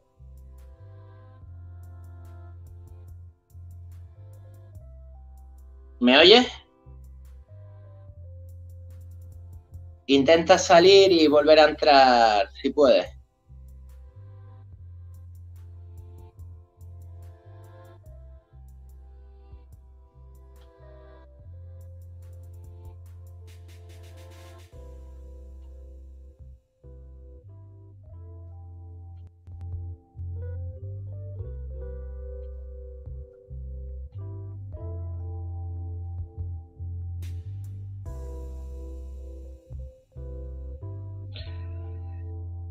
Ya te vale, Chino Tata, que si será tartamudo. no, no, no, no, Camote no es tartamudo. Seguro que se le ha fastidiado la conexión. Vamos a darle un momento para, para que pueda reconectar. Vamos a. Y a ver si quisiera conectarse algún otro amigo. Y bueno, si no, meteré un clip que tenía preparado para ya el cierre, eh, voy a aprovechar para lanzar este, este banner que casi nunca utilizo, pero que creo que merece la pena y que nos hemos ganado. Ahí está Camote. Vamos al lío. A ver qué tal ahora su conexión. Me, me cambié de red porque esa creo que no funcionaba bien. Genial, ahora estás mucho mejor. Ahí va. ¿Qué te estaba diciendo? No sé si me has llegado a oír. ¿Qué te ha parecido tanto el ciclo como tu propio programa? Eh, a ti, a tu familia, a tus amigos. Eh, coméntame un poco. Y te quedó algo por decir porque ahora es tu momento. La verdad, muy bien. Eh, bueno, he estado escuchando también la, la charla con Frank Meduda, también que se extendieron, igual que nos pasó, pero una segunda para extenderse más todavía. Y la verdad que estuvo súper bueno. Eh, no, bueno, ir compartiendo nuevamente con, con creadores de, todos lados, compartiendo cada uno su, experiencia, sus, modos, como ven mismo, mismo lo que es la, escena del arte y bueno, el crear desde cada uno desde su lado y bueno, la verdad es súper interesante también las, las charlas con, con, vos mismo, Pony. La verdad es que muy buenas preguntas, la verdad que surgieron cosas súper interesantes, ¿no? De, de, ir haciendo esos recorridos desde los orígenes, incluso antes de, pensar uno en hacer Toys. Así que estuvo, la verdad es que súper cómodo y a gusto con lo que fue todo el ciclo. ¿Y te quedó, te quedó algo ahí en la recámara durante tu programa que quieras ahora aprovechar para, para soltar? que recuerde realmente no, creo que, al menos terminamos y yo quedé bastante satisfecho, que no, no sienta que haya quedado algo ahí pendiente. Muy bien. Eh, nada, eh, justo contigo no he hablado, te voy a poner en el compromiso de preguntarte, ¿estás tan dispuesto como tus compañeros a, darle continuidad al proyecto para sobre todo lo que, lo que estaba comentando antes, apoyar a nuevos artistas y, un poco a la gente que, tenga un poco de inexperiencia o estás muy liado? Ahí estuve escuchando la, propuesta y sí, para mí, o sea, en mi caso me parece interesante eso y, y mismo de mi parte yo siempre estoy muy abierto a lo que es compartir el, conocimiento, no, no es algo que pretenda guardarme ni, como digo, a mí me interesa también ver gente nueva, que, realmente vayan, vayan surgiendo nuevos artistas, que, se interesen y quieren, quieran crear sus propios art toys. Entonces, de esa parte, estoy más que contento también de poder generar esos espacios, ¿no? Donde se, se dé esa, eh, no solo la continuidad del ciclo, sino esa oportunidad a quien, a quien le pueda interesar. Gracias, muchas gracias. Pues es fundamental, ya, ya sois más de la mitad los que me habéis dado el sí directamente.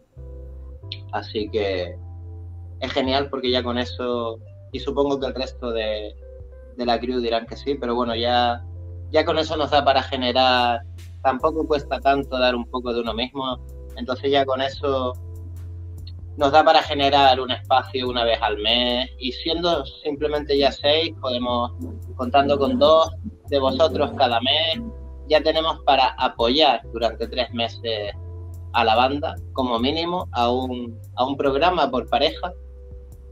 Al final no es tanta complicación, creo yo, poner un granito de arena.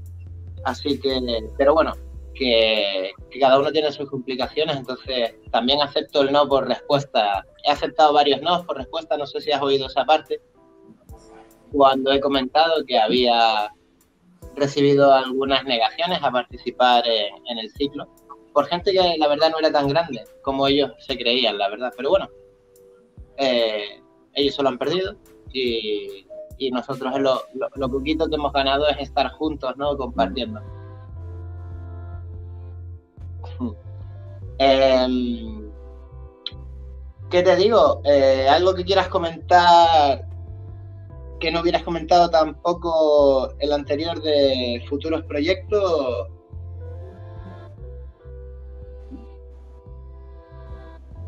Así es. Dime. Ah, ahí está. Pensé que me había quedado sin conexión. No, se te, se te congeló un momento, pero, pero te, recibo. Eh, te preguntaba si querías eh, decir algún, alguna propuesta que tengas ahora para... Bueno, vas a participar en plástico macizo, ¿no? No sé si me, recibes o no. Te veo ahí congelado. Sí, sí, ahí ya estuve. Sí, te, no te hemos oído, tú por lo menos no, te he oído nada. Te preguntaba si querías comentar algo a futuro, plástico macizo, alguna cosa extra, algún proyecto nuevo que hubiera quedado en la recámara. Ahora sí te oigo. Sí, eh, bueno, ahí plástico macizo a fin de mes.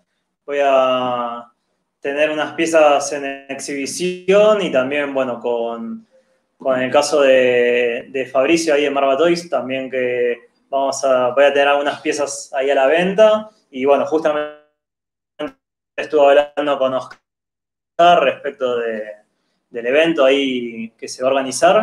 Y bueno, por lo pronto, justo estoy ahí moviéndome de ciudad, así que bueno, de, de Chiapas, que estoy ahora mismo aquí en México, me voy a ir a Ciudad de México para, para ahí el evento y mismo, bueno, ahí proyecto que se viene, la idea es sacar una figura en vinilo, así que ahí tenemos algo, tengo que ir a trabajar un poco ahí esa producción, en ese caso un poco de lo que estuvo mencionando Frank, yo voy a estar un poco con lo que es vinilo mexicano, eh, a ver qué, qué, tal sale, como bueno, es la, la primera experiencia ahí de, de, trabajar con ese material, ¿no? Yo que principalmente me manejo con resina y, y también trabajo algunas cosas en barro, eh, ahora, bueno, es eh, acercarme a otro material, pero ya de producción propia.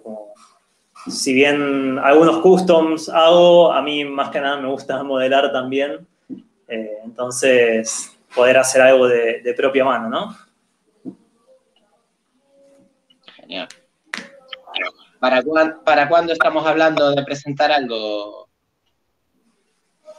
y todo depende de los tiempos de producción. Tengo ya algunos bocetos. Eh, la idea, una vez estando allí en Ciudad de México, es poder juntarme con el fabricante para, para poder ver aspectos por ahí de modelado que haya que tener en cuenta y no, será quizás unos días, una semana, por ahí que me pueda demorar en, modelar la pieza y luego ahí ya depende del fabricante, ¿no? Quizás lo que va a ser el tiempo de moldes. Pero bueno, con lo que habló Frank, me imagino que al menos un mes será para, para tener la producción, ¿no? Ajá. Bueno, quizá para octubre podamos presentar algo en el canal. Sí. Mientras tanto, bueno, seguiré haciendo otras cosas también. Bueno, hay algunos customs que tengo ahí pendientes y, bueno, seguir haciendo cosas con, con cerámica, con barro, que bueno, ahí tengo justo una pieza que estuve preparando en estos días. Voy a ver si quizás tengo, existe la posibilidad de llevarla mismo ahí a plástico macizo para, para ver si se puede hacer quizás una, presentación oficial ahí a través del evento. Eh, pero bueno, eh, ya estos días mismo eh, estuve haciendo ahí unas fotos de unas cosas, así que en estos, esta semana que viene iré actualizando por ahí un poco con material nuevo para la tienda. Ok, vas a estar entonces con plástico macizo y Marva Toys de momento, ¿no? Es donde, aparte de por, tu propio Instagram, estás distribuyendo. Sí, y luego, bueno, en octubre, que eso también había mencionado, eh, Expo Toys Barcelona, que casualmente la semana esta que pasó envié ya la pieza. Así que ahí también va a estar llegando, que va a ser un, custom de esta última pieza que, lancé, que es el Axolotl. Abrazo enorme para, David Usero y para Sergio. ¿Pudiste, ¿Estuviste en el programa de antes de ayer? No recuerdo si, te vi por el chat o no recuerdo. ¿No, justo ayer no, no pude verlo porque estaba justamente visitando un pueblo ceramista, y, pero lo tengo ahí pendiente para escuchar. También, bueno, ahí Sergio y, David que lanzaron el podcast este, Solo Son Toys, también que nos, quienes les interesen los Art Toys y no lo hayan podido, podido escuchar, también que, les den una oportunidad. Tengo pendiente el segundo programa también, así que mientras trabajo me voy a parar al día un poco con las, con las distintas pláticas que hubieron. Genial. Estuvo chulísimo. El primero sí lo viste entonces, ¿no? El del señor Toy explicando lo que era un, un Artoy. Sí. Brutal. Brutal. Solo sí, sí, sí, estuvo, estuvo gracioso. Hay que oírlo. Ahí os lo dejamos. Em, pues nada, ¿qué más? Mm, Voy a mirar en back a ver si ha venido alguien más a despedirse. Parece ser que no, que elegimos. Bueno, es verdad que retrasamos un, día por, por cuestiones técnicas y hoy pues no se ha podido juntar mucha banda. Pero bueno, hemos podido disfrutar con Frank, has podido acercarte tú, así que no me puedo quejar, no no cierro el programa yo solo.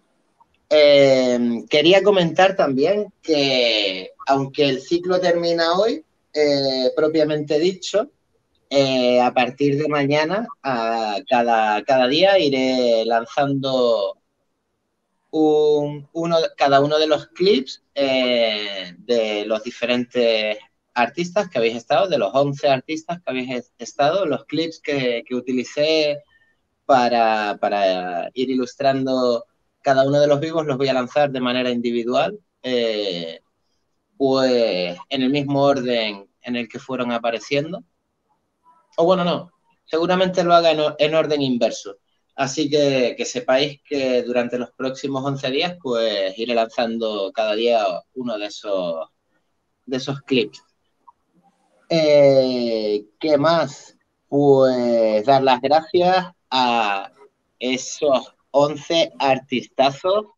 Eh, voy a intentar repetirlos incluso en el orden en el que habéis desarrollado vuestros programas. Un agradecimiento enorme para Frank Misterio, para Dermule Toys, para Mr. Ocio, para Camote, para Ricardo Lesan, para el señor Atsaikon, señor mm, Bombermat, señor Hombre Bala, señor Antonio Ponzoña, señor Gorgocho y mm, mm, mm, señor Carni Camilo. Un abrazo enorme a mis 11 amigos, colegas, compañeros de crew.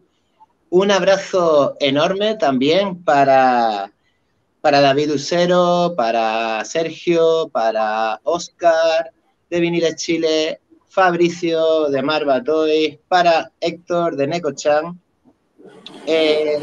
Un abrazo y un agradecimiento enorme para toda la banda, para todos los riders que nos han estado acompañando de Pony Boy Channel. Y, poco más, ya sabéis que vamos a darle continuidad a, la comunidad del Artoy, al mundo de la creación de figuras de arte y creo que con esto es todo. Espero que, os haya gustado, que, que lo hayáis disfrutado. Si es así, por favor, compartir, romper el botón de like. Eh, si no estáis suscritos, este es el mejor momento para hacerlo. Eh, visitad las redes sociales de los artistas, de los colaboradores. Eh, visitad los canales de YouTube de, de Toy y de Ricardo Lesant, eh, de Manuel Pellegrino, que son los que tienen canales. Eh, y nada, eh, ¿qué te digo, Camote? Tu mensaje final, si tuvieras algo que añadir antes de que cierre con, con, un clip de vídeo y, y ya nos vamos. Dejamos el listón, creo que por lo menos a una buena altura. ¿Tú qué dices? Yo creo que más que bien está el nivel que, se estuvo manejando. Eh, no sé, en el caso de aquí de México o en otros países, sé que casualmente hoy en Argentina es el Día del Niño. Sí, eh, día del niño, niña, niña. Entonces, ¿qué más que sobre todo con con gente como todos compañeros, colegas, amigos que, estuvimos participando acá y otros también que no forman parte de este ciclo, pero también se dedican a alimentar nuestro niño interior haciendo juguetes. Eh, y para quienes no y también están escuchando, eh, que no se olviden de su niña que llevan dentro, eh, que lo tengan presente, que recuerden que esa noción de volverse adulto porque se deja de jugar, eh, hay que tenerlo siempre presente y no dejar de jugar, aunque sea con detalles eh, mínimos, como ir jugando a no pisar la línea de las baldosas eh, caminando por la calle o lo que sea. que no, no se olviden de alimentar ese niño, que realmente es lo que nos hace seguir buscando y tener curiosidad y y ese hambre de aprender y no creer que sabemos todo, ¿no?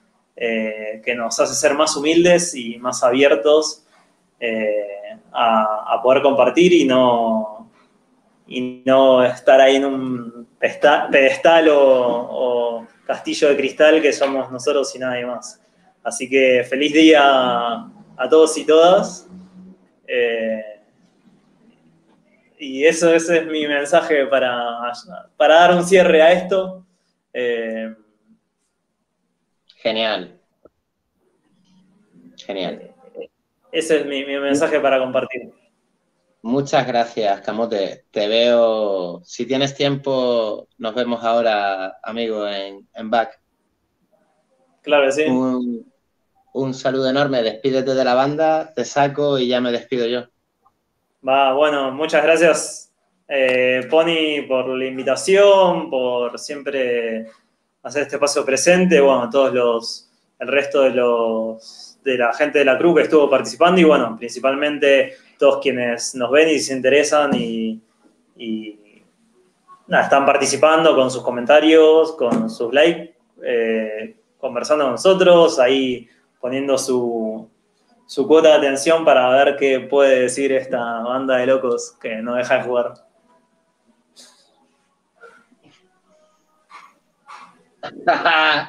Genial. Gracias, tío. Nos vemos ahora en un momento, ¿vale? Un abrazo. Hasta ahora.